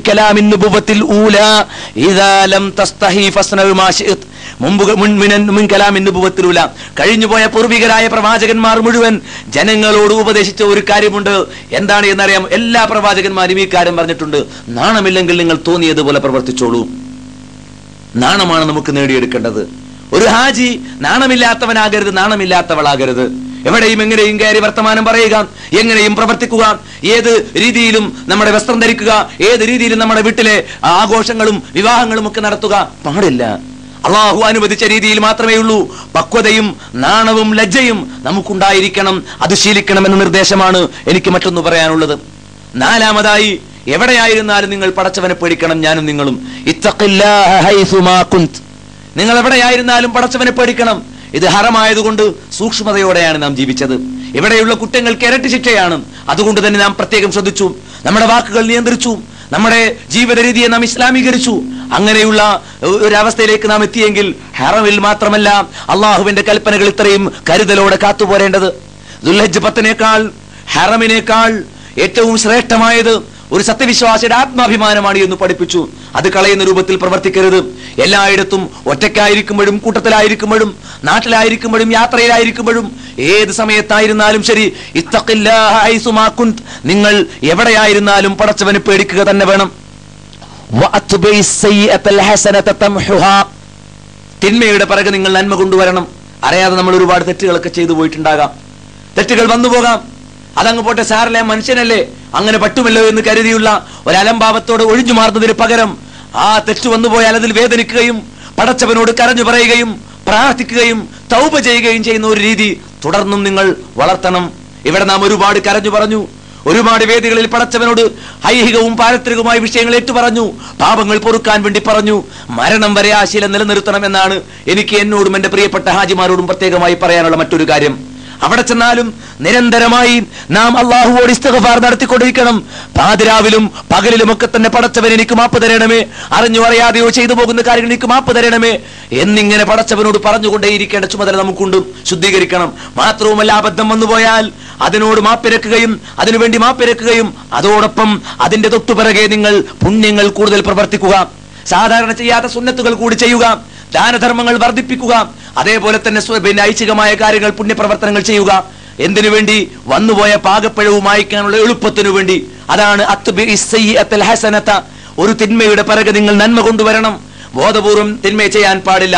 അറിയാതെ തെറ്റ് വന്നു പോയാൽ അറിയാതെ പറയാൻ പാടില്ലാത്ത ഒരു വാക്ക് പറഞ്ഞു പോയാൽ പറയാൻ ചെയ്യാൻ പാടില്ലാത്ത ഒരു കാര്യം ചെയ്തു പോയാൽ അതിനോട് പാശ്ചാത്തപി അതിനുവേണ്ടി പാശ്ചാത്തപിക്കുന്നതോടൊപ്പം അതിന്റെ പിറകിൽ ബോധപൂർവം ഒരു നന്മ ചെയ്യാൻ വേണ്ടി പ്രിയപ്പെട്ട ഹാജിമാർ മരണം വരെയും സന്നദ്ധരാകണം എന്നാണ് തംഹുഹ. പിന്നീട് ചെയ്യുന്ന നന്മകൾ പണ്ടു ചെയ്തു പോയ തിന്മകളെ മായിച്ചു കളയും ആ നിലയ്ക്ക് പ്രവാചകന്റെ മാതൃകയുള്ള ദീൻ അംഗീകരിച്ച പുണ്യം അനാചാരങ്ങളോ അത്യാചാരങ്ങളോ പാടില്ല. സുന്നത്തായ പുണ്യപ്രവർത്തനങ്ങൾ മാത്രം നിങ്ങൾ ചെയ്യാൻ തയ്യാറാകണം. ഹസൻ. നിങ്ങൾ ജനങ്ങളോട് നല്ല രീതിയിൽ പെരുമാറണം. ഇനി ഹാജിയാരായന്റെ കിബറുമായിട്ടല്ല പോകേണ്ടത്. ഇതുവരെ ഞാൻ ചിലപ്പം നാട്ടിൽ ചിലപ്പോ കാര്യപ്പെട്ട ആളും എല്ലാം നിയന്ത്രിക്കുന്ന ആളായിരിക്കും. ഇപ്പൊ ഹാജി എന്നുള്ള ഒരു പവറും കൂടി കൂടി എന്നാരും വിചാരിക്കരുത്. പിന്നെ നമ്മൾ കൂടുതൽ താഴണം. ഹാജിയായി. ഇനി നമ്മൾ പഴയതിനേക്കാൾ ഞാൻ നേരത്തെ സൂചിപ്പിച്ചതുപോലെ അങ്ങേയറ്റം വിനയാന്യതരാകണം സംശയമുണ്ടോ നിങ്ങൾക്ക് കാര്യത്തിൽ. അത് ഇവിടെ വെച്ചതിന് ശക്തമായ തീരുമാനം എടുക്കണം ത്യാഗം ചെയ്തുകൊണ്ട് അത് നാം ശീലിക്കുക തന്നെ വേണം. ഹസൻ. നാം നല്ല രീതിയിൽ ജനങ്ങളോട് പെരുമാറണം എന്നുള്ള ആ നിർദ്ദേശം അത് നിങ്ങൾ ഉൾക്കൊള്ളണമെന്നാണ് സൂചിപ്പിക്കാനുള്ളത്. പിന്നെ ഒരു സന്ദർഭത്തിലും പ്രയാസങ്ങളോ ദുഃഖങ്ങളോ ഇനിയും ഉണ്ടാകാം. രോഗങ്ങൾ കൊണ്ട് കഷ്ടപ്പെടാം. കുടുംബ പ്രശ്നങ്ങളോ പിണക്കങ്ങളോ ഉണ്ടാകാം. അത്തരമെല്ലാ പ്രയാസങ്ങളിലൊന്നും അള്ളാഹു നമ്മെ കാത്തു രക്ഷിക്കുമാറാവട്ടെ പക്ഷേ ഏതു പരീക്ഷണങ്ങളും പ്രയാസങ്ങളും അനുഭവിക്കേണ്ട സാഹചര്യം വന്നാലും ഒരു ഹാജിയിൽ വെപ്രാളം ഉണ്ടാകാൻ പാടില്ല. ഹാജിമാർ അസ്വസ്ഥരാകാൻ പാടില്ല. നാം കരുത്തും സഹനവും പഠിച്ചവരാണ്. പടച്ചവനെ പറ്റി മോശമായ വിചാരമുണ്ടാകരുത്. നാളെ പടച്ച തമ്പുരാന്റെ അരികിൽ ഹാജരാകുമ്പോഴാണ് വദാലിക്കും ലന്നുക്കുമുള്ളതി ലനൻതും റബ്ബിക്കും ഇങ്ങനെയാണല്ലോ നിങ്ങൾ നിങ്ങൾ റബ്ബിനെ കുറിച്ച് വിചാരിച്ചതെന്ന് പറയുക. മോശമായ വിചാരം പാടില്ല. നാം പ്രാർത്ഥിച്ചാൽ അള്ളാഹു ഉത്തരം നൽകും. നമ്മുടെ പ്രശ്നം അള്ളാഹു പരിഹരിക്കും. എന്നിട്ട് നമുക്ക് വല്ല വിഷമങ്ങളും ബാക്കിയുണ്ടെങ്കിൽ അത് ഹൈറിനു വേണ്ടി മാത്രമായിരിക്കും. നരകാഗ്രിയിൽ നമ്മൾ രക്ഷപ്പെടാനും സ്വർഗത്തിലേക്ക് പദവികൾ ഉയർത്താനും മാത്രമേ ഈ ലോകത്തൊരു മുള്ളു തറക്കുന്നത് പോലും കാരണമാവുകയുള്ളൂ. മനസ്സിലായില്ലേ? ഒരു ദുഃഖമോ ഒരു രോഗമോ ഒരു ക്ലേശമോ ഒരു വേദനയോ ഒരാളെയും ബാധിക്കുകയില്ല. ഒരു മുള്ളു തറക്കുന്നത് പോലും പകരമായി അവന്റെ പാപങ്ങൾ പൊറത്തു കൊടുക്കാതെ അവന്റെ പദവികൾ ഉയർത്തി കൊടുക്കാതെ എന്ന് അലൈഹി വസല്ലം പഠിപ്പിച്ചിട്ടുണ്ട്. അതുകൊണ്ട് ഒരു മുള്ളു തറച്ചാൽ പോലും ഇങ്ങനെ അസ്വസ്ഥത കാണിക്കുന്ന ഏർപ്പാടുണ്ടല്ലോ. ഒരു കരയിൽ ഉപ്പ് കുറയുമ്പോഴേക്ക് കാണിക്കുന്ന അസ്വസ്ഥതയുണ്ടല്ലോ. നാട്ടിൽ ചെന്നാൽ പാടില്ല. ഇനി മരണം വരെ പാടില്ല. ഏറ്റവും മാന്യതയും പക്വതയുമുള്ള സമീപനം അള്ളാഹുവെ കുറിച്ച് മോശമായ വിചാരത്തിലേക്ക് എത്താതെ മഴ വേണ്ട എന്ന് വിചാരിക്കുമ്പോൾ മഴ പെയ്തു. ഓ നശിച്ച മഴ. ഇസ്ലാം മുസ്ലിങ്ങൾ നടത്തുന്ന പത്രത്തിൽ പോലും കാലവർഷത്തിന്റെ പിന്നെ ക്രൂര വിളയാട്ടം എന്നൊക്കെയാണ് എഴുതാറുള്ളത്. നമ്മളത് പറയാൻ പാടില്ല. മഴ ചതിച്ചു എന്ന് പറയാൻ പാടില്ല. ഞാറ്റുവേല ചതിച്ചു എന്ന് പറയാൻ പാടില്ല. കൃഷിയിൽ എന്തെങ്കിലും ഒരു അപകടം ഉണ്ടായാൽ അത് അള്ളാഹു എന്തോ ഒരു ഹൈറുദ്ദിച്ചു അലഹമുല്ലാ കുല്ലിഹാൽ ഹാൽ. ഹംദിനെ കുറിച്ച് ഞാൻ നേരത്തെ പറഞ്ഞതാണ്. ഏത് സമയത്തും അലഹമില്ല പറയാൻ ഹാജിമാർ ശീലിക്കണം എന്നുള്ള ഒരു വിഷയം നിങ്ങൾ ആ കാര്യം മറക്കാൻ പാടില്ല. മിൻ ഇബാദ എന്നാണ് പ്രവാചകൻ പഠിപ്പിച്ചത്. അള്ളഹാനെ പറ്റിയുള്ള നല്ല വിചാരം അത് നല്ല ഒരു ഇബാദത്താണ്. അള്ളഹാനെ പറ്റി ഒരു കാരണവശാലും മോശമായ വിചാരം ആരും കാത്തു സൂക്ഷിക്കരുത് എന്നാണ് എനിക്ക് സൂചിപ്പിക്കാനുള്ളത്. അഞ്ചാമതായി നിങ്ങൾ ശൈത്വാനെ ശരിയാം വണ്ണം സൂക്ഷിക്കണം. മുഖ്യശത്രു പിശാജാണി എന്ന് പലപ്പോഴും സൂചിപ്പിച്ചു. പിശാചിനെതിരെയുള്ള ശക്തമായ ഒരു പോരാട്ടം ദേഹേച്ഛയിലൂടെ നീങ്ങാൻ ഭൗതികമായ താല്പര്യങ്ങൾക്ക് പ്രാധാന്യം കൊടുക്കാൻ പ്രേരിപ്പിക്കുന്നത് പിശാജാണ് എന്ന ബോധ്യത്തോടുകൂടി. നാം പിശാചിനെതിരെയുള്ള യുദ്ധം പ്രഖ്യാപിക്കുക. ഷെയ്ത്താനാണ് മുഖ്യ ശത്രു. സാമ്രാജ്യത്വവും ഫാഷിസവും ഒന്നും അല്ല. അതുകൊണ്ട് മുഖ്യശത്രുവിനെതിരെയുള്ള പോരാട്ടം. കൃത്യമായി ഇസ്ലാമിക ജീവിതത്തിലൂടെയാണ് ഷെയ്ത്താനെതിരെ പോരാടുന്നത്. ഖുർആൻ പഠിക്കണം. അതാണ് അടുത്ത് എനിക്ക് സൂചിപ്പിക്കാനുള്ളത്. ഷെയ്ത്താനെതിരെയുള്ള ഒന്നാമത്തെ ആയുധം ഖുർആനാണ് ഇനിയിപ്പോൾ ഞാൻ ഇത്ര പത്തറുപത് എഴുപത് വയസ്സ് എനിക്ക് ഖുർആൻ ക്ലാസ്സിനൊക്കെ ഇങ്ങനെ ഇപ്പോൾ എത്രയും കാലം ഞാൻ ഇങ്ങനെ വല്ല ക്ലാസ്സിനൊക്കെ പോയി പറകിലിരിക്കുക. അല്ല. ഒരാഴ്ചയിൽ നൂറ്റി അറുപത്തെട്ട് മണിക്കൂറുണ്ട്. ഈ നൂറ്റി അറുപത്തിയെട്ട് മണിക്കൂർ എന്തിനു വേണ്ടി നമ്മൾ വിനിയോഗിക്കുന്നു? പരലോകത്ത് ഒരു കാലടി മുന്നോട്ട് വെക്കാൻ പറ്റില്ല. സമയം എന്തിനു വേണ്ടി വിനിയോഗിച്ചു എന്ന് മറുപടി പറയാതെ പറ്റുമോ? യുവാക്കൾ പ്രത്യേകിച്ചും. അതുകൊണ്ട് ഈ സമയത്ത് എത്ര മണിക്കൂർ നാം ദീനിനു വേണ്ടി നീക്കി വെച്ചു? ഒരു ദിവസം നിസ്കരിക്കാൻ എത്ര സമയം വേണം? ഒരു അഞ്ച് മിനിറ്റ് നിങ്ങൾ കൂട്ടിക്കോളി. ഇന്നത്തെ അര മണിക്കൂർ പോരെ. അഞ്ചു നേരം ഫർ നിസ്കരിക്കാൻ. അല്ലേ? അത് കഴിച്ചു ബാക്കി ഇരുപത്തിമൂന്നര മണിക്കൂറില്ലേ ഇത് വെറും ദുനിയാവിന്റെ കാര്യങ്ങളും ഉറക്കവും വിശ്രമവും മാത്രമായി കഴിച്ചു കൂട്ടേണ്ടതാണോ? അല്ല. നമ്മുടെ ജീവിതത്തിൽ ഓരോ ദിവസവും ഇബാദത്തിന് വേണ്ടി നീക്കി വെക്കേണ്ട സന്ദർഭത്തെ കുറിച്ച് നമുക്കൊരു കാഴ്ചപ്പാടുണ്ടായിരിക്കണം.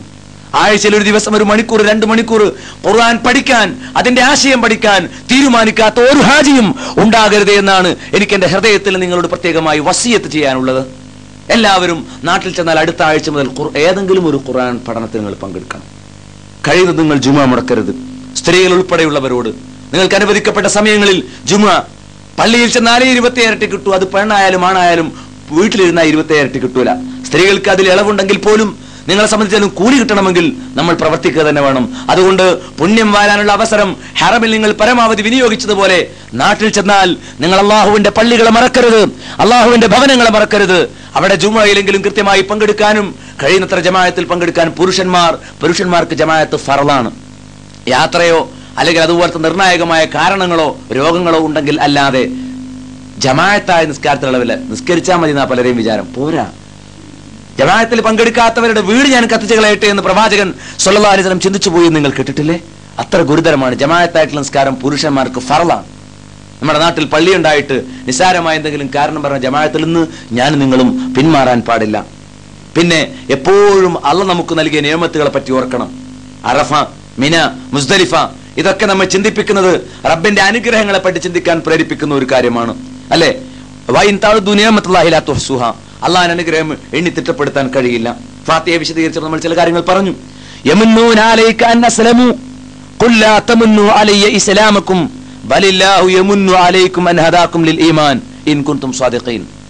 മനസ്സിലായില്ലേ? എന്താണ്? അവർ നിന്നോട് പറയുന്നു ഞങ്ങൾ മുസ്ലിങ്ങളായി എന്നുള്ളത് ഇങ്ങനെ എടുത്തു പറയാം. ഞങ്ങൾ മുസ്ലിമായി ജീവിച്ചു. ഞങ്ങൾ ഹജ്ജ് ചെയ്തു എന്നുള്ള വലിയ കാര്യമാണ്. ഞങ്ങൾ കൃത്യമായിട്ട് നോമ്പ് വെൽക്കുന്നു സക്കാത്ത് വെൽക്കുന്നു വലിയ കാര്യമാണ് എന്നിങ്ങനെ ചെയ്യുന്ന ദീനീയ പ്രവർത്തനങ്ങളെ പറ്റി ഭൗതികമായി മേനി പറഞ്ഞ് നടക്കുന്ന ഒരു സ്വഭാവം നമുക്ക് ഉണ്ടാകാൻ പാടില്ല. മറിച്ച് കൊല്ലാത്തമുന്നു അലയ ഇസ്ലാമക്കും. നിങ്ങളുടെ ഇസ്ലാമിന്റെ പേരിൽ നിങ്ങളുടെ ഹജ്ജിന്റെ പേരിൽ ഒമ്രയുടെ പേരിൽ കർമ്മങ്ങളുടെ പേരിൽ ഇസ്ലാമികമായ പ്രവർത്തനങ്ങളുടെ പേരിൽ നിങ്ങൾ ഇങ്ങനെ മേനി നടിക്കാൻ നിൽക്കണ്ട. പിന്നെയോ ബലില്ലാഹു യമുന്നു അലൈക്കും. മനസ്സിലായില്ലേ? അള്ളയാണ് നിങ്ങൾക്കും ഇതേ അനുഗ്രഹം ചൊരിയുന്നത്. അൻഹദാക്കും നിങ്ങൾക്ക് ഹിദായത്ത് നൽകുക വഴി ലിൽ ഈമാൻ ഈമാനിനു വേണ്ടി. ഇൻകുന്തു സാധിക്കുന്ന സത്യവാന്മാരാണ് ഇത് പടച്ചോ നൽകിയതാണെന്നുള്ള നല്ലൊരു ബോധം വേണം. അള്ളാഹിന്റെ തൗഫീഖുകൾ നമുക്ക് ഹജ്ജ് ചെയ്യാൻ തുടങ്ങി. നമ്മളെക്കാൾ ആരോഗ്യമുള്ള നമ്മേക്കാൾ സൗകര്യമുള്ള മുസ്ലിം കുടുംബത്തിൽ പറഞ്ഞിട്ടും നമ്മേക്കാൾ പണവും മറ്റുമൊക്കെയുള്ള പലരും ഇതുവരെ ഹജ്ജ് ചെയ്തിട്ടില്ല. അവസരം ഉണ്ടായിട്ടും ഹജ്ജ് ചെയ്തിട്ടില്ല. അതുകൊണ്ട് തന്നെ എന്താണ്? അവരിൽ നിന്ന് വ്യത്യസ്തമായി അള്ളാഹു നമുക്ക് ഹിദായത്ത് നൽകി. ഈ ഹജ്ജ് കർമ്മം നിർവഹിച്ച് പിരിഞ്ഞു പോകുമ്പോൾ മൻ ഈ ഭവനത്തിന്റെ അരികിൽ വന്ന് ഹജ്ജ് നിർവഹിച്ചാൽ ഫലം യറഫുസ് വലം യഫ്സുഖ് അവൻ റഫസോ ഫുസൂഖോ ഇല്ലാതെ അധർമ്മമോ ഭാര്യാഭർത്തൃബന്ധമോ ഇല്ലാതെ അവൻ ഹജ്ജ് നിർവഹിച്ചാൽ റജഅക യൗമിൻ വലദതുഹു ഉമ്മുഹു അവന്റെ ഉമ്മ പ്രസവിച്ച് ഒരു ദിവസത്തെ പോലെ അവന് മടങ്ങിപ്പോകാൻ പറ്റും. അൽ ഹജ്ജുൽ മബ്റൂർ ലൈസ ലഹു ജസാഉൻ ഇല്ലൽ ജന്ന. പുണ്യകരമായ ഒരു ഹജ്ജിന് സ്വർഗമല്ലാതെ മറ്റൊരു പ്രതിഫലം ഇല്ല എന്ന് പഠിപ്പിച്ചു. അറഫായിൽ നിൽക്കുന്ന ജനങ്ങളെ കുറിച്ച് പറഞ്ഞു മാമിൻ യൗമിൻ അക്സറു മിൻ അൻ അൻ യുതിഖല്ലാഹു ഫീഹി അബദൻ മിനൻ നാരി മിൻ യൗമി അറഫ. അറഫ ദിനത്തെക്കാൾ കൂടുതൽ അള്ളാഹു നരകത്തിൽ നിന്ന് മോചനം നൽകുന്ന മറ്റൊരു ദിവസമില്ല. ഏറ്റവും കൂടുതൽ ആളുകൾക്ക് അള്ളാഹു നരകമോചനം നൽകുന്നത് അറഫ ദിനത്തിലാണ്. ആഹാര അറഫാദിനത്തിൽ നിൽക്കാനുള്ള മഹാഭാഗ്യമുണ്ടായവരാണ് നിങ്ങൾ ഓരോരുത്തരും എന്ന ബോധമുണ്ടാകണം. അതുകൊണ്ട് തന്നെ ഇനിയും നരകമോചനത്തിന് അർഹമായ ജീവിതം നയിക്കാനുള്ള തീരുമാനവുമായിട്ടല്ലാതെ ഒരാളും തന്നെ നാട്ടിലേക്ക് പിരിഞ്ഞു പോകരുത് എന്നാണ് എനിക്ക് പ്രധാനമായി വസിയത്ത് ചെയ്യാനുള്ള ഒരു സംഗതി. അതേപോലെ അള്ളാഹുവിന്റെ അടയാളങ്ങളെ ആരെങ്കിലും ആദരിച്ചാൽ അത് ഹൃദയത്തിന്റെ തക്കവയിൽപ്പെട്ടതാണ് എന്ന് ഖുർആൻ പഠിപ്പിച്ചു. ഏറ്റവും കൂടുതൽ അള്ളാഹുവിന്റെ അടയാളങ്ങളുള്ള ഒരു നാട്ടിൽ നാം ജീവിച്ചു. നമ്മുടെ നാട്ടിൽ അള്ളാഹുവിന്റെ അടയാളങ്ങളുണ്ട്. എന്താണ് അള്ളാഹുവിന്റെ അടയാളങ്ങൾ? ഒന്ന് നമ്മുടെ നാട്ടിലുള്ള പള്ളികൾ അതേപോലെ സത്യവിശ്വാസികൾ. ഇതൊക്കെ അള്ളാഹുവിന്റെ അടയാളങ്ങളാണ്. അതിനെയൊക്കെ നാം പവിത്രമായി സൂക്ഷിക്കണം. ഏറ്റവും പ്രധാനമായി അള്ളാഹുവിന്റെ കൽപ്പനകൾ വിധിവിലക്കുകൾ അത് അള്ളാഹുവിന്റെ ഷായറാണ് അടയാളങ്ങളാണ്. ഇസ്ലാമിക മര്യാദകൾ പുരുഷന്മാർ താടി വെക്കുക എന്നതും സ്ത്രീകൾ വസ്ത്രധാരണത്തിൽ മര്യാദകൾ പാലിക്കുക എന്നതും അതൊക്കെ ഇസ്ലാമിന്റെ അടയാളങ്ങളാണ്. അതൊക്കെ പവിത്രമായി കാത്തു സൂക്ഷിക്കണം എന്നുള്ള ഒരു നിലപാട്. മറ്റൊന്ന് പരലോകത്തൊരിക്കലും മറക്കത് ഇടക്കിടക്ക് പറയണല്ലോ. ഹറമിലെ ഖുത്തുബയിൽ നാം കേട്ടില്ലേ? നിങ്ങൾ അള്ളാഹുവെ സൂക്ഷിക്കണം. നാളേക്ക് വേണ്ടി എന്തൊരുമിച്ച് കൂട്ടി എന്ന് എപ്പോഴും ചിന്തിക്കണം. നാളേക്ക് വേണ്ടി അറഫായി നിൽക്കുമ്പോൾ നമ്മൾ അത് ആലോചിക്കും നാളെ എന്തായിരിക്കും കഥ? മഹ്ഷറിൽ നിൽക്കുന്നതിനെ പറ്റി നമ്മൾ ഓർത്തു. അവിടെ പന്തൽ ഉണ്ടാവുകയില്ല. കൂടെ നിൽക്കാൻ പരിചയക്കാരുണ്ടാവുകയില്ല. അവിടെ വിശ്വാസത്തിന്റെ അടിസ്ഥാനത്തിൽ അവിശ്വാസിയാണെങ്കിൽ തലക്ക് തൊട്ടുമീതെ സൂര്യൻ കത്തിജ്വലിച്ചുകൊണ്ടിരിക്കുന്ന അവസ്ഥ മഹ്ഷറിനെ പറ്റി ചിന്തിക്കാൻ അറഫ മൈതാനം നമ്മെ പ്രേരിപ്പിച്ചുവെങ്കിൽ അതിനനുസരിച്ചുള്ള ഒരു നിലപാട് നമ്മുടെ ജീവിതത്തിൽ ഉണ്ടാകണം എന്നാണ് എനിക്ക് പറയാനുള്ളത്. പിന്നീട് പത്ത് മുപ്പത് ലക്ഷം ആളുകൾ ഒരുമിച്ചാണ് ഇവിടെ കഴിച്ചു കൂട്ടിയത് അതിൽ അന്യരുണ്ട്. സ്ത്രീകളും പുരുഷന്മാരും ഒക്കെ ഒരുമിച്ച് കൂട്ടി നാം പുരുഷ സ്ത്രീകളുടെ മുഖം മറക്കരുതെന്ന് പറഞ്ഞു. സ്ത്രീകളുടെ സൗന്ദര്യത്തിന്റെ പ്രകടമായ അവസ്ഥയാണ്. എന്നിട്ട് പോലും കണ്ണിനെ നിയന്ത്രിക്കാൻ ദൃഷ്ടി നിയന്ത്രിക്കാനും ഇത്രയേറെ ഒരുമിച്ച് ജനങ്ങൾ നിൽക്കുന്നിടത്ത് വരെ കൽപ്പനയുണ്ടെങ്കിൽ നിസ്കരിക്കുന്നിടത്ത് പോലും ആണും പെണ്ണും ഒരുമിച്ച് ഒരു സാഹചര്യം നമ്മുടെ നാട്ടിലുണ്ടാവില്ല. ഇവിടെ ഹറമിൽ പരസ്പര സ്വാഭാവികമായിട്ടും അത് ഉണ്ടാകാനിടയുണ്ട്. അവിടെ വരെ നാം കരുത്തോടുകൂടി അത് നിയന്ത്രിച്ചു. സ്വന്തം ഭാര്യമാരുമായി പോലും ബന്ധം പുലർത്തുന്നതിന് ഹജ്ജിനു വേണ്ടി നാം പിരിഞ്ഞു നിന്നു. അവരുമായുള്ള പിന്നെ അമിതമായ സല്ലാപങ്ങൾ പോലും നാം ഉപേക്ഷിക്കാൻ ഈ ഹറമിൽ തയ്യാറായി. എന്തിനു വേണ്ടി അനുവദിക്കപ്പെട്ട ഇണകളോട് പോലും സല്ലാപങ്ങളിൽ നാം നിയന്ത്രണം പാലിച്ചുവെങ്കിൽ അള്ളാഹുവിന്റെ കൽപ്പനയാണ് ഏറ്റവും വലുത് എന്നുള്ള ബോധ്യമാണ്. നാട്ടിൽ ചെന്നാലും അങ്ങനെ തന്നെ ആവണം. വഴിയോരത്ത് കാണുന്ന അശ്ലീലമായ പോസ്റ്ററുകൾക്ക് നേരെ കണ്ണുകൾ പായിക്കുക. അതേപോലെ നാട്ടിൽ നമ്മുടെ ടി വിയിലൂടെ ഡാൻസും പാട്ടും ഈ അഭിസാരികമാരുടെ വസ്ത്രവിധാനവുമായി കടന്നു വരുന്നവരുടെ ഏർപ്പാടുകളും അതിൽ ആസ്വദിക്കാൻ വേണ്ടി സമയം ചെലവഴിക്കുന്നവരായി നമ്മൾ മാറാൻ പാടില്ല. അലി റളിയല്ലാഹു വിളിച്ചുകൊണ്ട് പ്രവാചകൻ കൽപ്പിക്കുകയാണ് ഒരിക്കൽ. യാ അലി കൻസൻ ഫിൽ ജന്ന. നിനക്ക് സ്വർഗത്തിൽ ഒരു നിധിയുണ്ട് കേട്ടോ. അതുകൊണ്ട് ഫല തുത്ബി നദറതൻ നദറ. ഒരു നോട്ടത്തിന്റെ പിറകെ നീ രണ്ടാമതൊരു നോട്ടം കൂടി നോക്കരുത്. അറിയാതെ അന്യായ ഒരു പെണ്ണിനെ കാണേണ്ടി വന്നാൽ പിന്നെ ഒന്നും കൂടി അങ്ങോട്ട് നോക്കി നോക്കുന്ന ഒരു നിലപാട് ഒരു വിശ്വാസിക്ക് ഉണ്ടാകാൻ പാടില്ല. ഇന്നലക്കൽ ഊല. ആദ്യത്തേത് നിനക്കാവാം. അതറിയാതെ പറ്റിയതാണ്. വലൈശത്തിലക്കൽ ആഹ്റ അന്യരായ സ്ത്രീ പുരുഷന്മാർ പരസ്പരം രണ്ടാമതൊരു നോട്ടം പാടില്ല എന്ന് പഠിച്ചു. ദൃഷ്ടികളെ നിയന്ത്രിക്കുക. ദൃഷ്ടികളെ നാം നിയന്ത്രിക്കുക. കണ്ണിനെ വ്യഭിചാരത്തിലേക്ക് വിടാതിരിക്കുക എന്ന കാര്യമാണ് മറ്റൊരു ഉപദേശം. പിന്നീട് ചില കാര്യങ്ങൾ വളരെ വേഗം എണ്ണി പറഞ്ഞ് അവസാനിപ്പിക്കുകയാണ്. നമുക്ക് നമസ്കാരം കൃത്യമായി ജമായത്തായി അതാതിന്റെ സമയത്ത് നിർവഹിക്കുന്ന കാര്യത്തിൽ പുരുഷന്മാരെ പോലെ തന്നെ സ്ത്രീകൾക്കും ജാഗ്രത ഉണ്ടായിരിക്കണം. നമ്മുടെ നാട്ടിലെ ഏർപ്പാട് എന്താ അറിയോ? സുബഹ നിസ്കാരം പല സ്ത്രീകൾക്കും സൂര്യ ഉദിച്ചിട്ടാ. നേരത്തെ എണീക്കും. ഭർത്താവിനെ പറഞ്ഞേക്കണം മക്കളെ പറഞ്ഞേക്കണം വീട്ടിലെ കാര്യങ്ങളൊക്കെ ചെയ്യണം പ്രാതലുണ്ടാക്കണം എല്ലാം കഴിഞ്ഞിട്ട് കുറച്ച് ആൾക്കാരെ വെച്ചിരുത്തിയ ഒരുപാട് ആൾക്കാർ അങ്ങനെയാണ്. എന്നിട്ട് സുബൈ സുബൈ കലായി സ്ഥിരം അങ്ങനെ തന്നെ. ലൊഹറോ ലൊഹർ ഇങ്ങനെ നീട്ടി നീട്ടി പിന്നെ പാത്രം കഴുകാനും അലക്കാനും മറ്റു പ്രശ്നങ്ങളും വർത്താനം പറയാനും എല്ലാം കഴിഞ്ഞാൽ ഇടയ്ക്ക് ഇപ്പൊ സീരിയലും മറ്റു കാര്യങ്ങളൊക്കെ അതും ഉണ്ടാവും. അതെല്ലാം ഒരു അസറിന് നേരാവാ നേരത്ത്. എന്നാ പിന്നെ ഒരു നിസ്കാരക്കുപ്പായത്ത് രണ്ടും കൂടി കഴിക്കാലോ? നിസ്കാരം അസ്വലാത്തുലി വക്തിഹ എന്നാണ്. അതിന്റെ സമയത്ത് നിർവഹിക്കണം ഏറ്റവും ശ്രേഷ്ഠം എന്ന് പ്രവാചകൻ പഠിപ്പിച്ചു.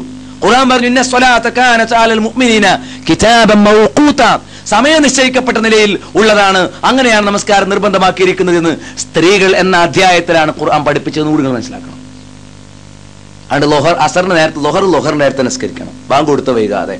അസർ അസർ നേരത്തെ നിസ്കരിക്കണം. അല്ലാണ്ട് ഒരുമിച്ച് അതൊരു മകരിബിശ ഒരുമിച്ച് നിസ്കരിക്കാം യാത്രക്കാരാ ഞങ്ങൾ നാട്ടിൽ അല്ല. ചിലർ വിചാരിക്കുന്നത് ഇല്ല അസറിന്റെ സമയം കഴിയുന്നതിന് മുമ്പ് പിന്നെ അല്ല ലൊഹറിന്റെ സമയം കഴിയുന്നതിന് മുമ്പാണല്ലോ ഞാൻ ലൊഹർ നിസ്കരിച്ചത്. അസർ സമയത്തിന് ഫസ്റ്റിലാ നിസ്കരിച്ചു. അങ്ങനെയൊക്കെ ഷെയ്ത്താൻ പറഞ്ഞുതരും. പക്ഷേ പുണ്യം നഷ്ടപ്പെട്ടു പോകും തക്കുവ കുറഞ്ഞു പോകും. അതുകൊണ്ട് ഓരോ നമസ്കാരവും കൃത്യമായി നിർവഹിക്കുന്ന ശ്രദ്ധയുണ്ടാകണം.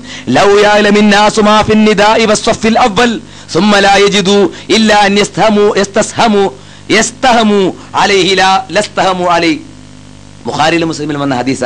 പ്രവാചകൻ പറയാ ആർക്കെങ്കിലും ബാങ്കിനും ഒന്നാമത്തെ സഫിനും ഇടയിലുള്ള പോലീസ് അറിയുമായിരുന്നെങ്കിൽ ഏയ് ബാങ്ക് കൊടുത്തിട്ട് ഒന്നാമത്തെ സഫിന്റെ പരമാവധി ഏറ്റവും മുന്നിൽ നിൽക്കുന്നതിന്റെ പോരിശ അറിയുമായിരുന്നെങ്കിൽ എന്താണ്?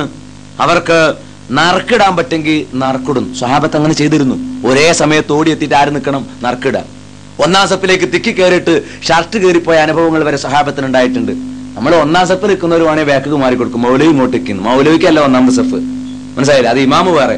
ബാക്കിയുള്ള എല്ലാവരും എന്താണ്? എല്ലാവരും ഒന്നാം സപ്പിന് വേണ്ടി മത്സരിക്കണം. അവിടെ സാധാരണക്കാരെന്നോ രാജാവെന്നോ പ്രജയെന്നോ മൗലവിയെന്നോ അല്ലാത്തവരെന്നോ വ്യത്യാസമല്ല. അതുകൊണ്ട് ഒന്നാം സഫിന് വേണ്ടി മത്സരിക്കുന്നവരായി ഞാൻ നിങ്ങൾ മാറണം. യാത്രക്കാർക്ക് അതിലേ ഇളവുള്ളൂ മനസ്സിലായില്ലേ? നാട്ടിച്ച് നമ്മൾ യാത്രക്കാരല്ല. അവിടെ വളരെ കൃത്യമായി ഒന്നാം സഫിന് വേണ്ടി മത്സരിക്കുന്ന ഒരു സ്വഭാവം ഉണ്ടായിരിക്കണം. മറ്റൊന്ന് ഞാൻ നേരത്തെ സൂചിപ്പിച്ചു അമ്രുബിൽ മൗറൂഫ് നഹിനൽ മുൻകർ. ചില ആൾക്കാരൊക്കെ ഇസ്ലാംകാരി അഞ്ചെണ്ണം പറഞ്ഞ ആറാമത്തെ ഇസ്ലാംകാരിയാണ് ദാഴത്ത് എന്ന് പറഞ്ഞത്. പൂർവികരായ സലപ്പുകളായ പണ്ഡിതന്മാർ. കുന്തും ഹൈർ ഉമ്മത്തിൻ ഉഖർജത്തുൽ ലിന്നാസ് തഅ്മുറൂന ബിൽ മാറൂഫ് അനിൽ മുൻകർ നേരത്തെ വിശദീകരിച്ചു. നിങ്ങൾ ജനങ്ങളിൽ നിന്ന് ഉയർത്തെഴുന്നേൽപ്പിക്കപ്പെട്ട ഉത്തമ സമുദായമാണ്. നിങ്ങൾ നന്മ കൽപ്പിക്കണം തിന്മ വിരോധിക്കണം. നമ്മളിങ്ങനെ സ്വയം ഞാനെങ്ങനെങ്കിലാണ് പോട്ടെ ബാക്കിയുള്ളവർ നോക്കുന്നില്ല നിലപാടല്ല. ആളുകൾ ഇഷ്ടപ്പെട്ടാലില്ലെങ്കിലും ആദ്യ സ്വന്തം മക്കളെ ഭാര്യമാരെ വാപ്പാനെ അമ്മാനെ മക്കൾ. അതേപോലെ അയൽക്കാരെ ഇങ്ങനെ ബന്ധുത്വം അടുത്തടുത്ത ആൾക്കാരെ പിന്നെ അയൽക്കാരെ. ഇങ്ങനെ ഒരു നന്മ ഉപദേശിക്കുന്ന തിന്മ വിരോധിക്കുന്ന ഗുണകാംക്ഷയോടുകൂടി അറിയിക്കുന്ന ഒരു സ്വഭാവം നമുക്കുണ്ടായിരിക്കണം. വിശുദ്ധ ഖുർആൻ അക്കാര്യം പറഞ്ഞു. ഇന്നലെ നമ്മൾ ഹറമ കേട്ട ആയത്തിന് നമ്മൾ പ്രത്യേക ആജിമായിട്ട് പറഞ്ഞെന്താ? ഇന്നലെ ഖത്തീബുൽ ഹറമൈൻ പറഞ്ഞെന്താ? വൽ മുഅ്മിനൂന വൽ മുഅ്മിനാത്തു ബഅ്ദുഹും ഔലിയാഉ ഇന്നലെ നമ്മൾ കേട്ട ആയത്താണ്. സത്യവിശ്വാസികൾ സത്യവിശ്വാസികളും പരസ്പരം മിത്രങ്ങളാണ് ആത്മമിത്രങ്ങളാണ്. എങ്ങനെയാ അവർ മിത്രങ്ങളായാൽ അതിന്റെ ഗുണം എന്താണ്? യഅ്മുറൂന ബിൽ വയൻഹൗന അനിൽ മുൻകർ. അവർ നന്മ കൽപ്പിക്കുന്നു അവർ തിന്മ വിരോധിക്കുന്നു. സ്വലാ അവർ നമസ്കാരം കൃത്യമായി നിർവഹിക്കുന്നു ജക്കാത്ത് നൽകുന്നു. കണ്ടോ? നിസ്കാരം ജക്കാത്തും കൂട്ടിയാ പറഞ്ഞത്. അള്ളാഹുവിനെയും റസൂലിനെയും അനുസരിക്കുന്നു. നിശ്ചയമായും അള്ളാഹു അവർക്ക് കരുണ ചൊരിയും. അള്ളാഹു പ്രതാപിയും യുക്തിമാനുമാണ്. അത്തൗബ സൂറയിൽ എഴുപത്തി ഒന്നാമത്തെ ആയത്ത്. ഇന്നലെ നാം ഹറമിൽ വെച്ച് കേട്ട അവസാനത്തെ ഹുത്തുബയിൽ നാം കേട്ട ആയത്താണ് അത് സൂചിക്കണം. അത് നിങ്ങൾ സൂക്ഷിക്കണം. മൻറാമിൻ കുമുൻകരൻ മുൻകറൻ ബേദി നിങ്ങൾക്ക് അറിയാവുന്നതാണ് ഫല്യുഗയ്യിറുഹു ബിയദി ഒരാൾ തിന്മ കണ്ട കൈ കൊണ്ട് തടയണം ഫൈലെ യസ്തത്തി ബിലിസാനി. കൈകൊണ്ട് തടയാൻ പറ്റാത്ത വൃത്തത്തിലാണ് തിന്മ കാണുന്നെങ്കിലോ നാവ് കൊണ്ട് ഉപദേശിക്കെങ്കിലും വേണം. ഫൈലം യസ്തത്തി ഫബി കൽബി നാവ് കൊണ്ട് ഉപദേശിക്കാനും കിട്ടാത്ത രൂപത്തിലൊക്കെയാണ് അവരുള്ളതെങ്കിലോ ഹൃദയം കൊണ്ട് വെറുക്കെങ്കിലും വേണം. അല്ലാണ്ട് ശബരിമലക്ക് പോകുന്നവർക്ക് യാത്രയെ കൊടുക്കുക.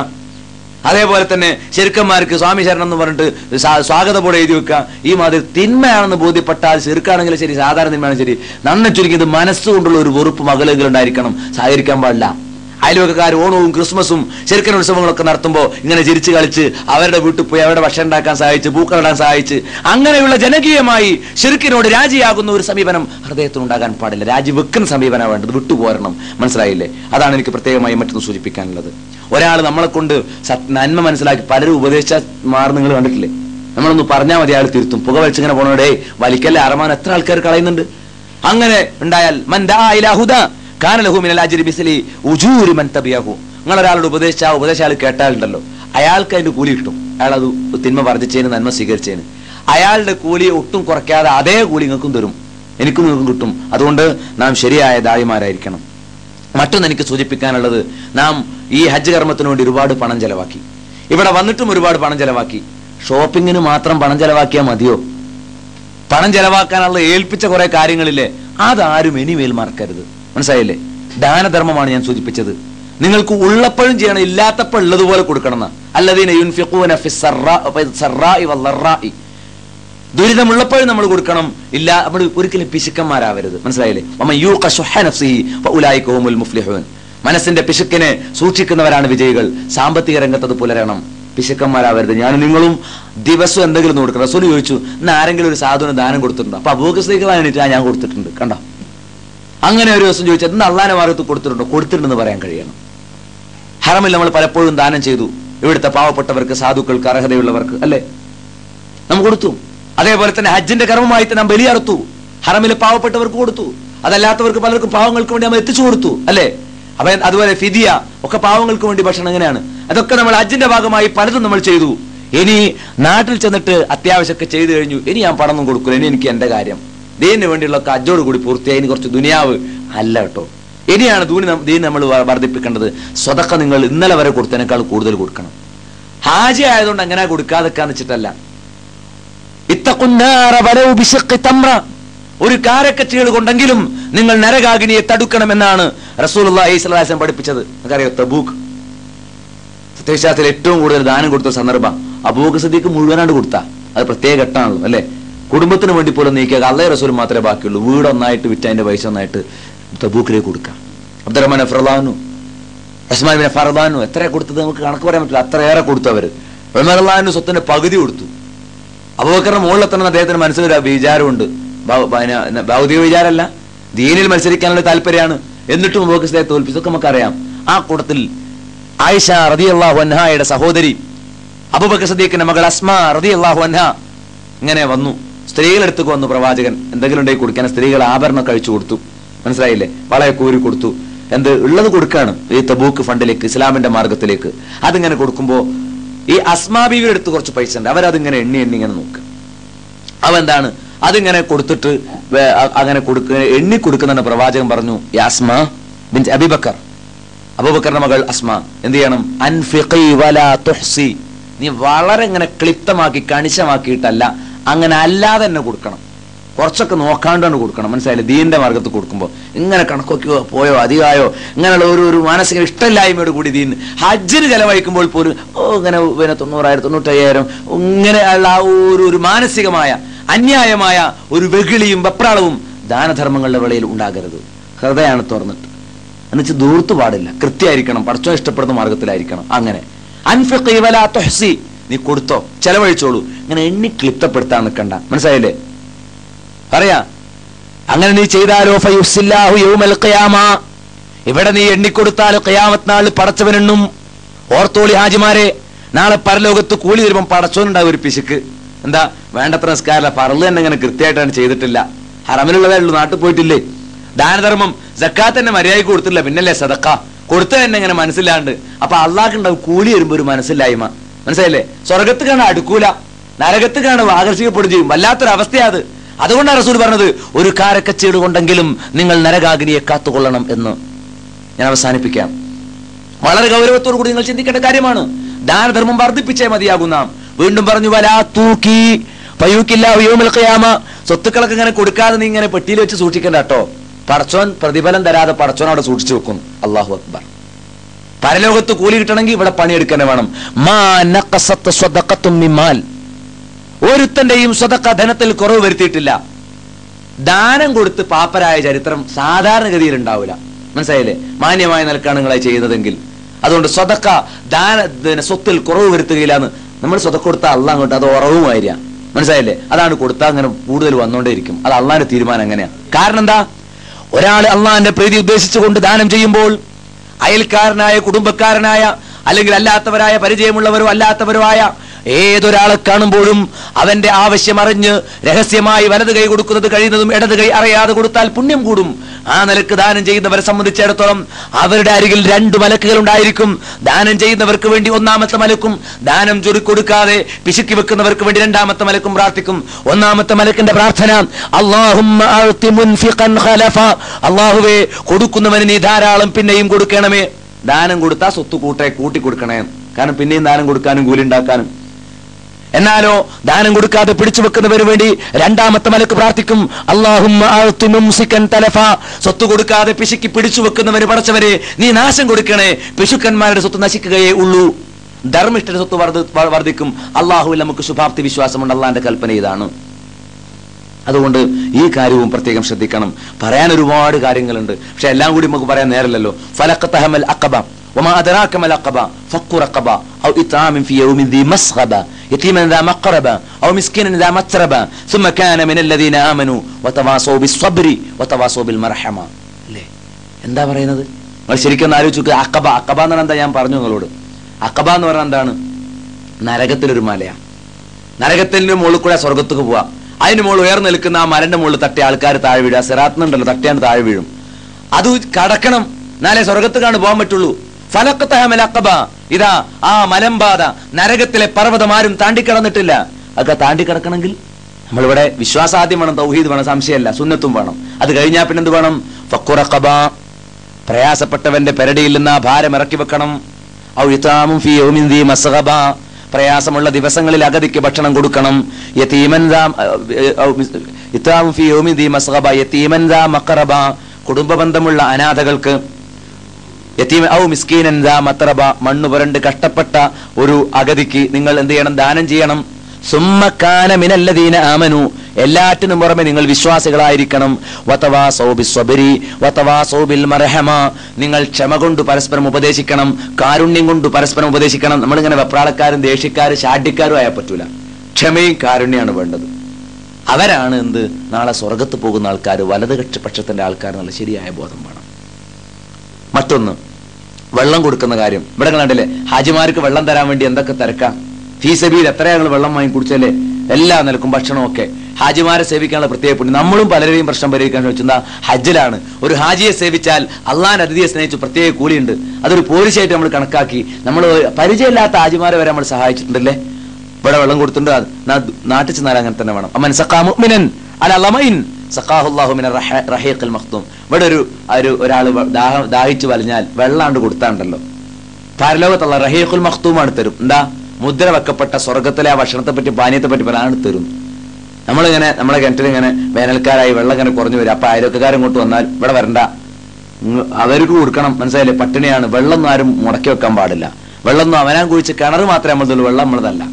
അത് കൊടുത്തേ പറ്റൂ. അയൽക്കാർക്ക് കൊടുക്കാതെ മുടക്കി വെക്കുന്നത് ശരിയല്ല. കൊടുത്താലേ പരലോകത്ത് ഇങ്ങനെ സ്വർഗത്തിന്റെ വെള്ളം കുടിക്കാൻ പറ്റുള്ളൂ. അത് നമ്മൾ പാലിക്കണം.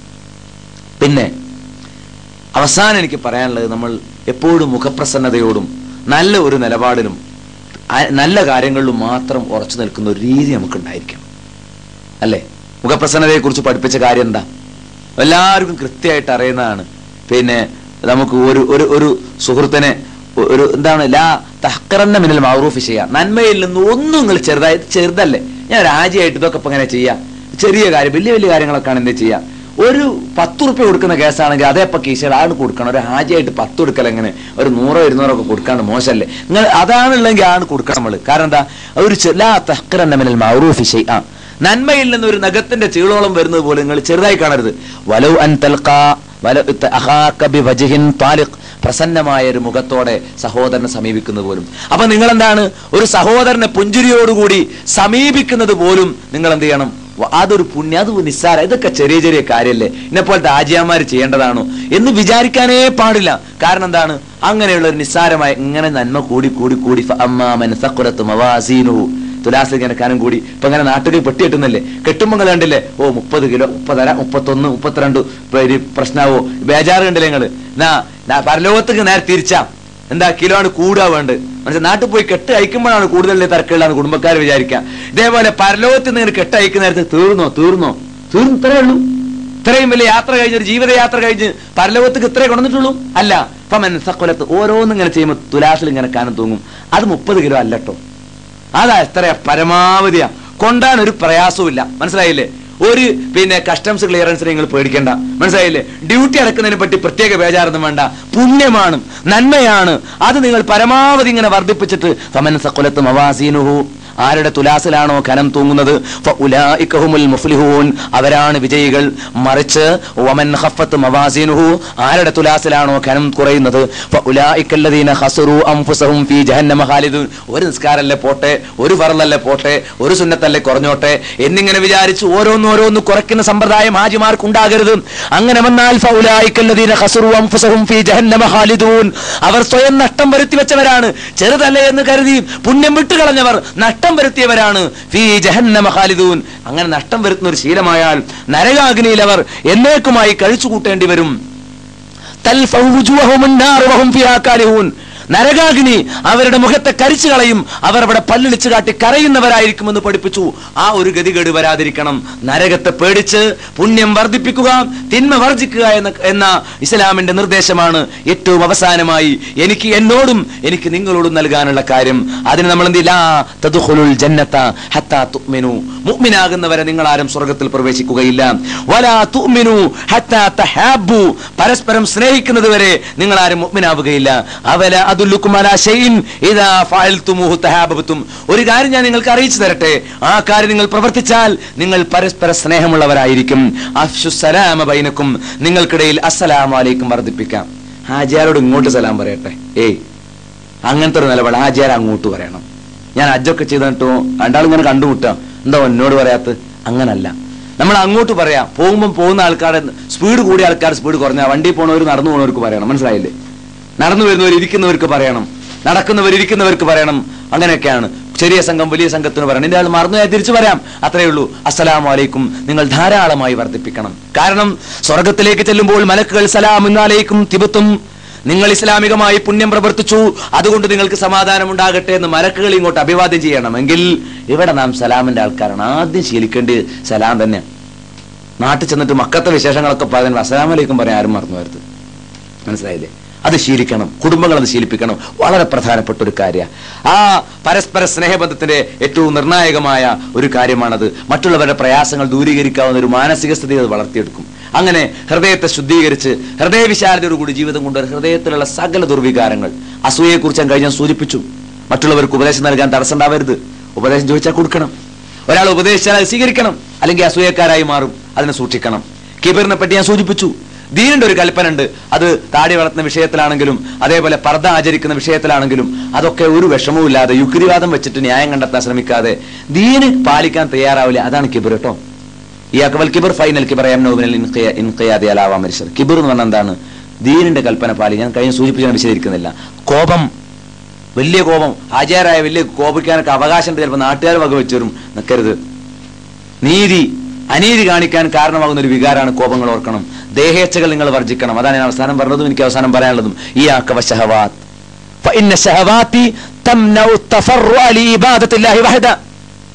പറയാണ് എന്താണ്?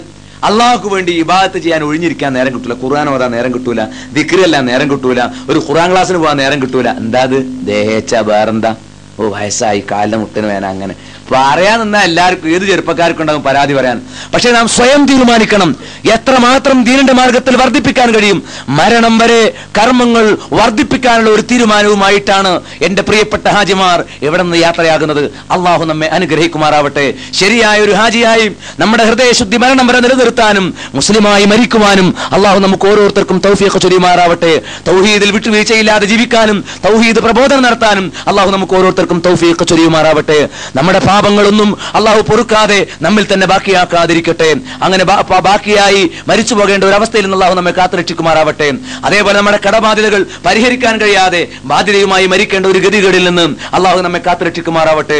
ചെറുതും വലുതുമായ നാം അനുഭവിക്കുന്ന എല്ലാത്തരം രോഗങ്ങളും പ്രയാസങ്ങളും അള്ളാഹു നമുക്ക് ശിഫയാക്കി തരികയും നമ്മിൽ നമുക്കതിൽ നിന്ന് ആശ്വാസം തരികയും ചെയ്യുമാറാവട്ടെ. ഐഹികവും പാരത്രികവുമായ എല്ലാ പ്രയാസങ്ങളിൽ നിന്നും ദുഃഖങ്ങളിൽ നിന്നും അള്ളാഹു നമുക്ക് തുറവി നൽകുകയും അതിന് തക്കവണ്ണം മറ്റുള്ളവരുടെ പ്രയാസങ്ങൾ ദൂരീകരിക്കുന്നതിൽ മുൻകൈ എടുക്കാൻ മാത്രമുള്ള യോഗ്യതയിൽ എത്തിച്ചേരാൻ അള്ളാഹു നമുക്ക് തൗഫീഖ് ചൊരിയുകയും ചെയ്യുമാറാവട്ടെ റബ്ബന തഖബ്ബൽ മിന്ന ഇന്നക അൻത സമീഉൽ അലീം وتب علينا انك انت التواب الرحيم اللهم احينا على الكتاب والسنه وامتنا مع الايمان والتوبه اللهم اعز الاسلام والمسلمين واذل الشرك والمشركين ربنا اجرنا من النار ربنا اجرنا من النار ربنا اجرنا من النار ربنا لا تزغ قلوبنا بعد إذ هديتنا وهب لنا من لدنك رحمة إنك أنت الوهاب. ربنا اغفر لنا ولإخواننا الذين سبقونا بالإيمان ولا تجعل في قلوبنا غلا للذين آمنوا. ربنا إنك رؤوف رحيم. ربنا هب لنا من أزواجنا وذرياتنا قرة أعين واجعلنا للمتقين إماما. ربنا ربنا اصرف عنا عذاب جهنم إن عذابها كان غراما. إنها ساءت مستقرا ومقاما. ربنا ولا تحملنا ما لا طاقة لنا ربنا. لا تؤاخذنا إن نسينا أو أخطأنا. ربنا ولا تحملنا ما لا طاقة لنا. ربنا ولا تحمل علينا إصرا كما حملته. على الذين من قبلنا. ربنا ولا تحملنا ما لا طاقة لنا واعف عنا واغفر لنا وارحمنا أنت مولانا فانصرنا على القوم الكافرين.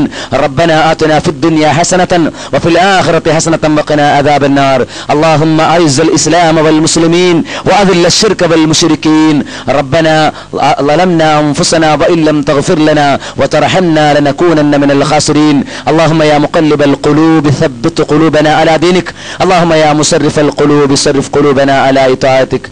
اللهم صل على محمد وعلى آل محمد. وآخر دعوانا أن الحمد لله رب العالمين. والسلام عليكم ورحمة الله.